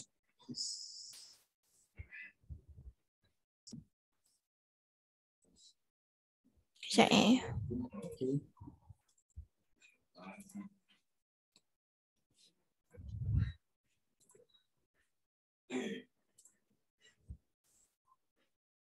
Boleh nampak? Not yet. It's still Ahmad Johan screen. Oh, maybe dia kena unshare kot. Uh, Ahmad Johan boleh stop share ke? Okay, jap. I change. Alright. Boleh go. Nampak? Nampak, nampak. Boleh present? Okay. Okay, Bismillahirrahmanirrahim. Assalamualaikum. Uh, my name is Haina Sohaila and I am from Comic Reka. So, just a little bit about me. Uh, I learned 3D animation and my purpose is to create a comic based on the story about orang asli. So, the problem statement is uh, currently in our society, people don't really know about orang asli community and I would also love to I, I I want to give awareness about orang asli so that people will come and to help them and also support their business or entrepreneurship and etc. So the the way that I want to give awareness is by using the comic comic media. So it is to introduce the orang asli culture and value their culture and create a sustainable impact and also to document their dying culture. So this is a little bit about orang as orang asli. They are 18 tribes and they are the sec- second oldest living DNA. And they have a really unique and sustainable culture, which I would like to put as a story in the comic. So this is just one of their beautiful fashions, really unique and styles, and it's like kind of this concept that I will be putting into the comic. And there's just sets of arts and craft that have a really meaningful, meaningful story behind it. It tells about how they choose their life partners, which I will pre- mm, put this put it into the story. And the market set segment is uh, for now, I would like to focus on the kids who loves adventure stories and who's also uh, interested in knowing about the nature and jungles, love adventures and really love comics. And why? Why do they? Why people should choose Comic Reka is because it's it tells about culture, and it's a fun orang asli. uh, It's a fun story about orang asli and have a. Uh, uh, it's it's a comic about indigenous orang asli, which right now is quite rare, and the reason why I want to start this is because to re-educate and exchange knowledge from the reader and also etc. And the comic is actually supporting the UNESCO 17 SDGs because um, I want to implement how to take care of the nature and about the crisis of the world. Not not just not just like it, it's not that too boring of educational comic, but it's it, it in a form of Disney like story. You know, it's just about that that person and they're telling they're having this struggle living in the jungle and maintaining the ecosystem. So therefore, people need to help and save the planet. So this is just the, one of the tangible and intangible impacts.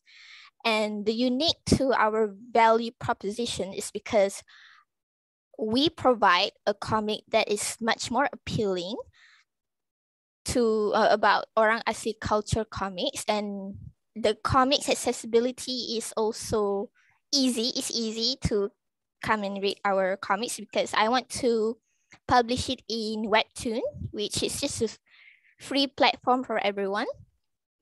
And yeah. And this is just a business model canvas. And this this is just a summary of the the financial that I need and etc. And the re revenues is I want we will be getting revenues by selling the comic um, hard copy and soft copy um, by by publishing in webtoons. If if I get a an amount of followers like 1000 readers or something like that and I will get paid by the webtoons for creating such um fun stories. And then if I were to continue make a, more series in the future then they will still still keep on paying and also from ad revenues in the website and also I want to sell merchandise and also possibly ebook from another another platform. So currently the progress is um, I'm doing the research and development progress whereby I visit from village to village to know what their problem is and to know what kind of story that I can create by by observing their lifestyle and culture. So this is in Endaurupin, the recent recent visit that I went is on Orang Hari Orang Asli Day, which the, there's a story behind that. That like a tall tower is actually their daily Hari Raya Mandi Hari Raya that they do every Hari Orang Asli Day, and I would really love to put it in the comic as well. And this is just one of the achievement and awards that we have gotten in 2020 and 2021 and and recently just a few days ago we got we, we received an award from the iCAN 2022 it's three awards in Canada this is just our recent achievement so uh, that is all from me. Thank you. Okay, now, um, yeah, I understand a bit about this uh, brand. Mm -hmm. Jungle School Gombak is yours or someone else? It's um, it's my partner. Yes, because without them, I wouldn't be no, able no, uh, to get the story. Sorry, um, I just want to understand what's the catch from What's the catch? The catch from them is th they are the one because uh, the catch from them is the catch I, for them, not for oh. not from them, eh? for them. What, for uh, them. What do they get if they allow you to use their yeah? JSG is actually the one who uh, gained the awards and whatnot, right? So what's mm -hmm. the you to uh, orang cakap menunggang brand ni lah. So what's the catch for them? I provide comic and stories from their packages and programs so they can they can use the comic that i'm making as part of uh what do you call it merchandise for them to tell and give awareness to their customers or other others using the story that i'm creating do, do you know Um, you understand How much how much does it um contohlah satu komik tu jual, how much will you get? How much will they get? Um. Uh. Have you discussed or not that thing? I. I haven't detailed discussed it yet um, because I'm still sorting out the the research on the publishing online and also offline, the price for publishing books and also ebooks because I'm also I'm still doing the research with them. Okay. Um, I understand that this is actually um an initiative from a professor in Gombak. So why does you say it is your friends? Yeah, I know. What? JSG is actually a program by IIUM Gombak, right? Oh no no, J- Jungle School Gombak Malaysia is a social enterprise separate from the IIUM. Separate? Separate, yeah. It's not it's not in IIUM. It's not in the university activities. It's just another another social enterprise. And Jungle School Studio is another social enterprise, and we're collaborating. Okay. So Yeah. your friend is the founder? Yes, I I'm the founder for Jungle School Gombak Studio. You you're the founder. Yes, So right now you're the first year in MMU. yes, first year. Ah, how, how old are you? May, may I ask? I'm 22. So dari umur berapa kau sendiri? Jaga suku Gombak. Um, I, I involved with Jungle School Gombak since I was small, since I was 11, j- just doing like river cleaning and following the, So- the Jungle School Gombak. You ahli Jaga suku Gombak ke atau you own Jaga suku Gombak? I'm I'm creative director for Jungle School Gombak. That's Yes. the thing yang senang cerita. Yeah. Tak, sebab dia macam suspicious sangat tau dari first uh, meeting. Because like I said before lah, uh, Suhaila, Mm. it, it is good for you to um, leverage on their brands. Mhm. If you're, you're meeting people like um, kalau kata ada customers yang datang ke School Gombak and then you want to leverage on that brand, that mode is good. Mhm. But in terms of um, seeking for funds, uh, you're trying to be like um, another put another image Uh-huh. in front of Jungle School Gombak.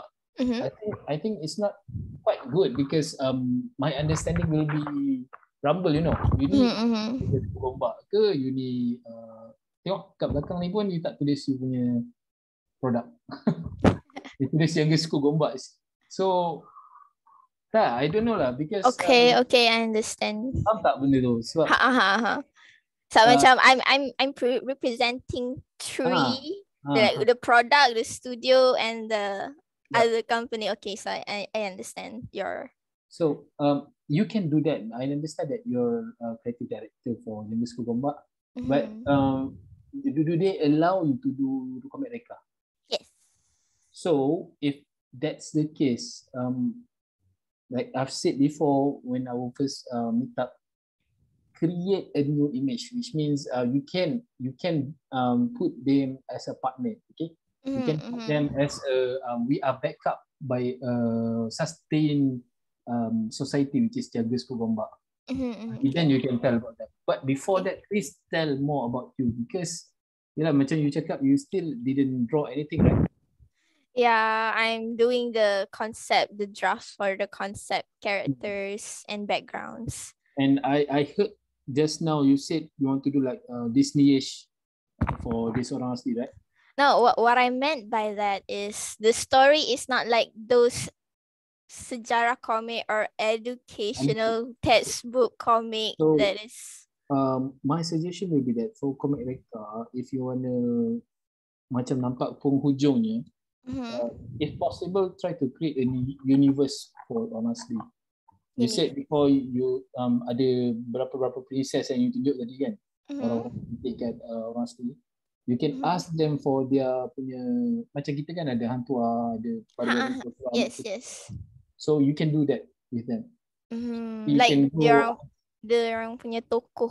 Yes. Uh, dia orang mesti ada Ah, orang. yes, yes, they do. the legendary of their punya ancestors kan. So Mm-mm.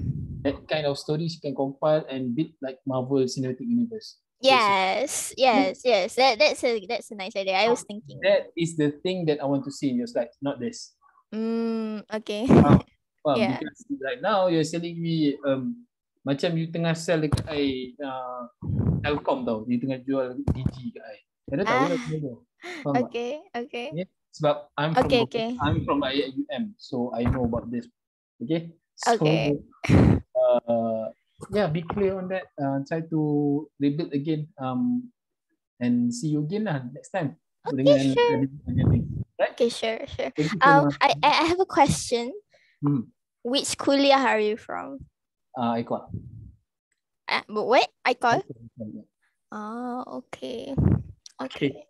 Okay, thank you. Alright, thank you so much. Um, okay, so let's go to another group. Shelly Create Studio. You here? Shelly, calling for Shelly. Shelly sudah tidur kah?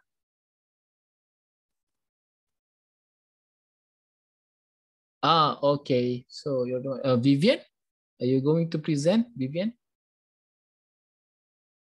Oh, Satish Puran. okay, Satish Puran. Good. Satish, we cannot hear your voice. ah. Uh, yeah, can you hear me now? Yeah, we can hear you now.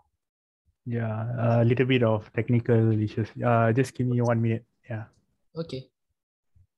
Just start whenever you're ready, okay? Okay, able to see me, right? Yep. We can hear Yeah. you, we can see you. Okay. So yeah, uh, thank you, sir, and also my fellow friends. So we are from the group Amali. We are eight of us, and our project here today, what I'm speaking about, is Otoma Seed Farm. So I'll move on to the problem statement. So the main issues uh, we are having after the inflation is uh, in the fishing industry. So from that, most fish farmers focus on commercial fish production, and the production of fish seeds are large in quantity, and this can be detailed by uh, this. This uh, might need a detailed process in order to produce a healthy fish seed. So uh, uh, are uh, often sold by third parties, which make it's uh, which make it inconsistent. So there comes our solution, Automa Seed Farm, where we come out with a fish farm which consists of RAS, uh, which consists of this uh, four of these uh, automation in order to produce a healthy fish uh, seed. So it consists of RAS, automation, solar, and IoT. Those are the things. So now I'll move on to the first uh, system that uh, we are bringing in is RAS. It's called uh, recirculating aquaculture system. So with RAS system, we help fish farmers to get great quality fish seed.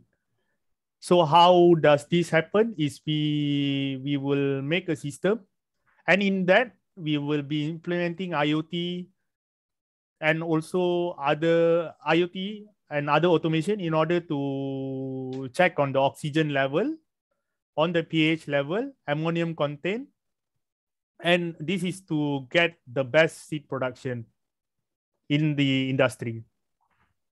So this is our competitor analysis. So first we would have uh, ARC Aquaculture Resource Center, which is in uh, Sungai Buloh, Selangor. So they are doing this for years, but what differs them uh, from us is that they are doing it in a manual way where they don't have RAS system or they don't have any IoTs which going to make the seed healthy as us, but they are running it in a manual way where, where they produce the fish seed and provide it to the uh, to the consumer. So then after we have uh, Borneo Eco Star, uh, Star Agriculture where fishery business is not there, but they are providing the technology. So that's their their backdraws. And also we have eFishery, which is in Bandung. And currently is ours, Otomasit, which is in Slim River, uh, Kampung Rasau Slim River, where we are coming out with the new technology, which is uh, RAS with IoT and other technologies. So how we are, so next slide would be how we are different from the other others. So, uh, so th this is a much uh, technical part of it. So I would skip this part as it's uh, more into the system and how it flows. So next would be the key point where how, how are we different from the other competitors? So we are producing our own food for the uh, fishes. So we are uh, producing Moina. Moina is produced and it, it, it, it will be a production where we will feed our fi uh, fish by our own, which this would be a major uh, attraction to the investors.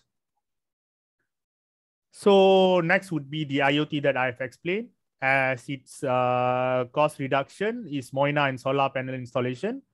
And for the IoT part is it's going to take care of the temperature, water level, and the water oxygen as I explained before. So this would be a brief uh, slide on the production cycle.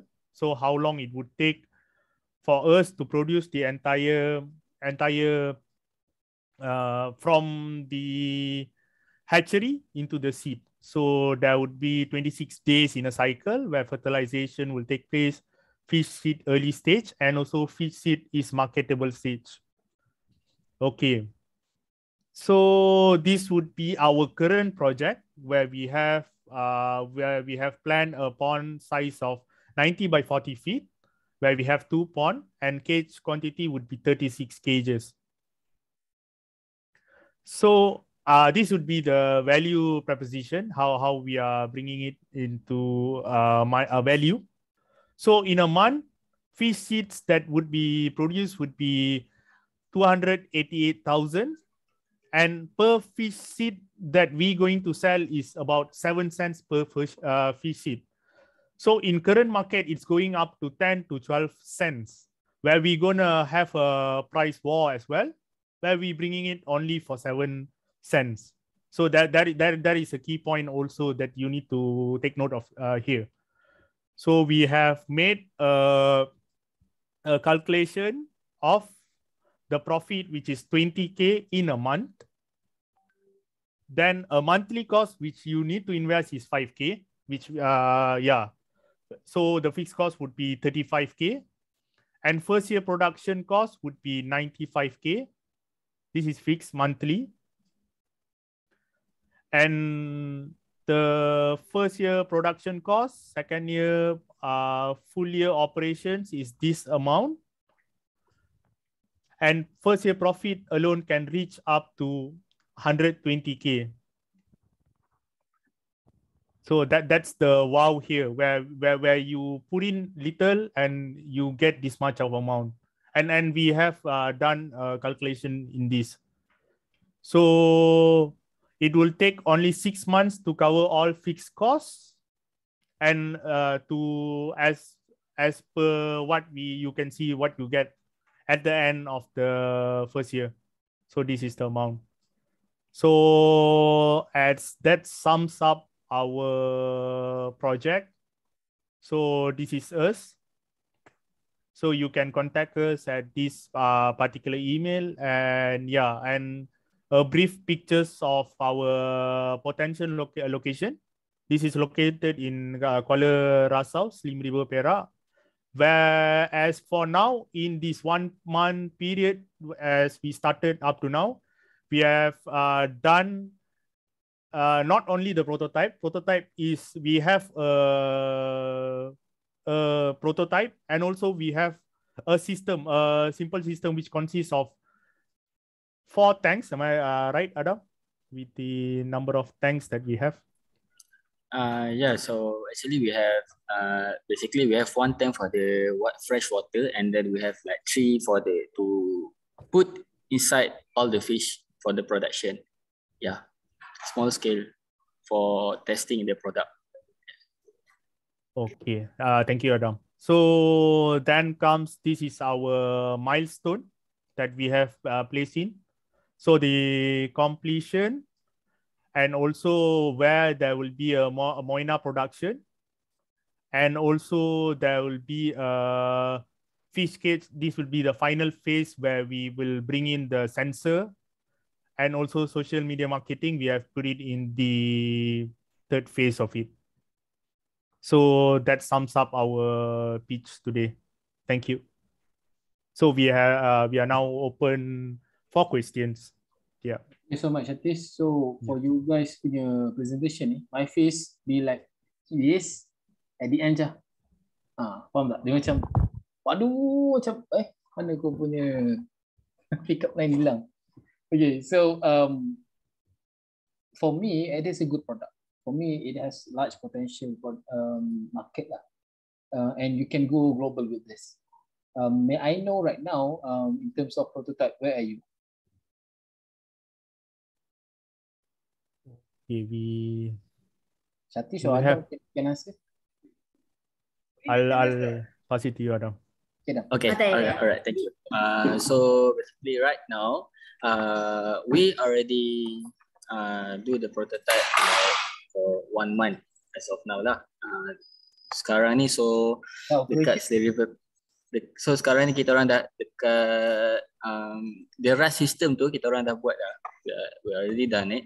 And Ini dah ada lah sistem ni. Ya, Yes. ya. Si- Kita orang dah siap dah semua dekat bahagian uh, kan uh, Shatis can you go below like Yeah, sure. show the picture like show the picture that we had the project location project Okay, location okay, okay. okay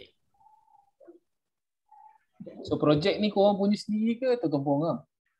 uh, kita orang punya sendiri so uh, Muhammad, this is actually my Ah. parents punya yeah this is actually my parents punya uh, Hmm. tanah. Jadi yeah we have a lot of uh, and then uh, last time pun memang dah ada operate juga but failed due to pandemic because they already started for one month and then after that pandemic comes and yeah everything is like closed down. And then after like I try to help my father to cover but somehow sebab tak boleh memang tak dapat because of the limitation of uh, working here and there and then ada macam uh, sekatan jalan raya semua kan? So uh, so once I graduated and then we uh, change uh, we started to Okay, dah. move back Benda, on benda, this benda yang korang buat ni uh, uh, adalah orang panggil macam landmine lah, landmine. Gold mine. Maksudnya betul cara korang jual, korang boleh kaya. But Hmm. right now, I think um, the first part, sebab apa saya cakap eh, uh, the first part, uh, I, I kind of, wow, this product is so amazing. Until the end dah bunyi scam. Oh Why dia scam? punya macam scam Belakang-belakang dah bunyi MLM lah. Ada ah, ya, ya. Dia daripada macam jual Grab, dia terus macam jual 1XOX pada awak. Ah, So, the, the feeling is like that. faham It's very great Yeah. at the start. Beginning bagus. aduh We, we are very used to get Okay. that comment. yeah because yeah it sounds, it sounds like uh macam it, too good to be true right tapi No, it's, some- not too good to be true, but you you're putting uh, wrong things into um, oh so okay uh, Hmm. like this how um you said yang RAS system dah siap right? hmm yeah dah siap dah Why don't you test out with um orang-orang yang dah ada sangka? Hmm, uh, boleh juga. Uh, ada juga kita orang plan like di September we are uh, we are going to college perikanan so we want to approach them like on 12 September macam tu lah. Uh, so kita orang punya schedule. Okay, so Ah. right now, uh, if you do have like cages, dah ada dah. Maksudnya kalau kata Ah. um, that partner ada cages, Mm-mm. Orang tinggal uh, start your RAS minister lah. Uh-uh. Lagi satu, uh, apa ni? Apa apa kos Kita utama? Apa kos utama untuk korang jalan ni? Okay, kos utama the electricity and yang inilah electricity and the uh, feed feeding tu. Sebab okay tadi kan macam kita ada Moina pro, uh, Moina production. Tapi Moina production tu dia kita panggil dia kutu air lah eh in Malaysia. Kita Yep. biasa panggil kutu air. So Plankton. kutu air Yeah. ya the plankton tu. So ya the plankton tu kita dia suitable for fish seed je. Tapi untuk kita buat induk benih induk ikan untuk kita buat telur dia tu uh, we still have to feed to feed them with uh, produce feed yang macam apa pellet fish pellet tu so that is the cost uh, the first thing tapi Okay, cuma yalah Jom, ya ah uh, dengan electricity RAS system Ah. sesuai untuk um, fish seed juga atau untuk semua ikan sesuai? everything like every seed Tu sebab termasuklah Sepatutnya Ah. korang Halapia. boleh kaya lah sekarang Yeah. ni. Okay, so right Okay. now, uh, I don't know if you guys agree to this or not, but uh, try Okay. to um, tengoklah view ni. So mm, my understanding is that if you can test out only eh only the part of RAS system dengan mana-mana um, suppliers, okay, let's say Mhm. orang tu ada 36 cage, you test out Mhm. with them, and then um, let's say uh, run like three months, you you cakap lah you bagi offer dia half price ke from your RAS Mhm. system package, mhm, and then um, let's see the feedbacks how, macam mana dengan uh, perubahan orang tu dah mungkin uh, boleh kurangkan pekerja mm, orang tu dah tak payah nak pergi turun hari-hari sebab ada IoT Mhm. semua kan so mhm, that's the value yang aku rasa korang tak nampak lah. so rather than you're waiting for Mhm. yelah nak kumpul modal big cage and then mm, mm, baru sensor mm, mm. cari seorang yang boleh uh, okay ni aku ni aku men- aku tertarik dengan sistem korang sebab tu aku Okay. cakap dengan korang eh cerita sampai how we are different je yang bawah-bawah tu kan yang cerita dah scam lah Mm, mm, mm. Ya, betul tu. yang banyak duit-duit Ya ya ya ya. so what you can do is that um, try to uh, get the back with your team and um, discuss on the packages let's say sekarang ni prototype yang dah ready is only Rust right Ya. Yeah. uh, and for you to wait um, to find that specific owner yang nak buat um, only fish feed susah kan Mm. making susah ni but untuk cari owner yang dah ada kolam ikan yang nak Mm-mm. sustain je Mm, mm. senang so try Mm. to go uh, to them first and Mm. then um, if you wanna be more creative try to be like Huawei which means diorang akan datang maybe like your case in uh, three months we are going to service our system our system Mhm. faham tak those kind of things be Betul. creative on that side jangan sebab aku tak nak nanti sebab one fine day akan ada orang yang keluar dengan sistem kalau korang Yeah. nampak Yeah. So Okay. why Hmm. why you need to test it now because uh, kalau boleh minggu ni kau search je mana-mana orang yang nak benda ni pitch kat Hmm. orang benda ni and then let's Hmm. say they agree to that price okay bincang balik dengan team orang berapa cost buat run system nak run dia Hmm. through a month uh, tengok semua cost electricity semua and bagi that uh, special price to your Hmm. first customer okay dah siap tu and then only you can go maybe you can go plus to college uh, college pula to Jabatan Perikanan. Mhm. which they have like lots of database there. Ya that's the betul. first step that you can go. Second step you can go is go global. Which you can just go to Indonesia or um, Brunei mana-mana. Just sell them this system. And I Mhm. believe you can start from there. So um, don't wait lah okay? So that's that will be my um, suggestion. Don't wait sebab one fine day orang akan buat Ya. okay ya, thank you so much uh, Tuan Masid yang belakang-belakang yang bahagian uh, that numbers is disgusting yeah. aku kan nak dengar yang malam Ya ya ya ya ya ya. Ah, And if possible, Okay. kalau kata dah jumpa that one person yang setuju nak buat benda tu, ambil gambar step progress, ambil video, buat TikTok Hmm. content. Mhm. Alright, Ah, that's all. okay, Thank you so ah, much. Uh, okay, sorry nak tambah juga.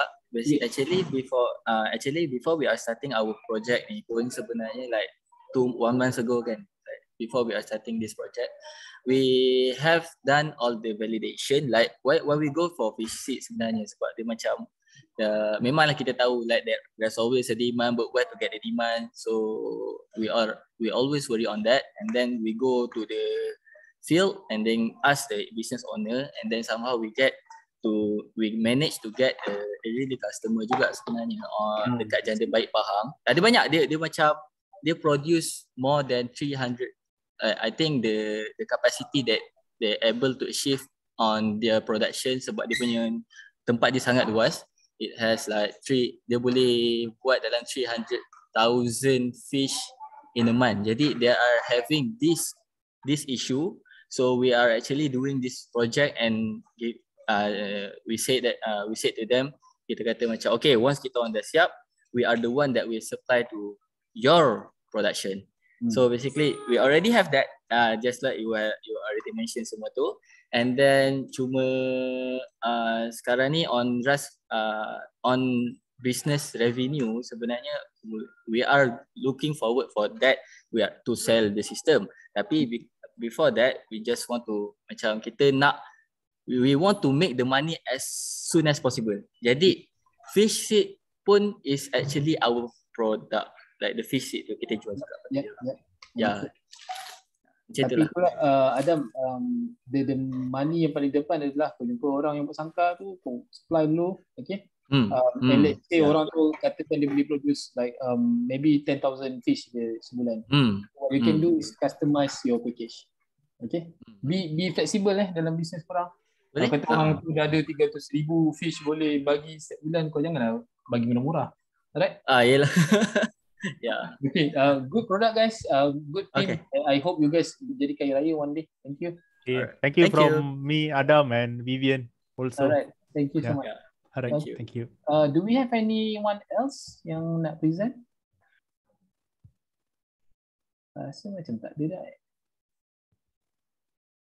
Ada ke? Okay, I think if dah tak ada, that will conclude our Malam Merdeka. Patut pergi tengok konsert tapi lain korang. tak ada rasa boleh tak buka kamera semua je. Aku nak buat something. Nak puaskan hati sebab tak tengok Malam Merdeka. Alright. Kat kamera semua, kat kamera, kat kamera. Aha, okay. ngam. Vivian memang tak ada buka kamera eh. Geraldine, Hafizuddin, Najmuddin. Ah, okay ngam. Alright guys, boleh buka mic tak? Semua orang buka mic. So aku macam nak buat benda ni dengan orang ramai tapi dapat dengan korang je kan. So kita buat sama-sama lah. Sebagai esok Merdeka, uh, aku akan laungkan Merdeka tiga kali korang sambut. Boleh eh? Boleh tak? Nak minta bantuan korang semua. Boleh boleh boleh boleh Boleh eh? Aina Kita tak, buka, lah, kita tak buka mic lagi. Jerilyn tak buka mic lagi. Oh, Hai, tadi boleh. Bapak scam lah. okay. Alright. Uh, let's do it. Okay. Satu, dua, tiga. Merdeka! merdeka Merdeka. Sekali lagi. Okay. Uh, satu, dua, tiga. Merdeka! Merdeka. Merdeka. Ah, Merdeka! Merdeka Ah. Merdeka! Merdeka. ah. Alright guys, so uh, nanti kan recording tu hujung tu. Aku letak dekat Instagram nanti. Okay, thank you so much guys for tonight. Hope you guys um have enjoyed um tadi ada sharing session and now kita ada this session and hope to see you guys soon with a better deck, better product and better quality. Thank you so much. My name is Ani Alves. Sorry ada tersalah kata ke apa ke. Kita jumpa lagi lain kali. Assalamualaikum dan selamat malam.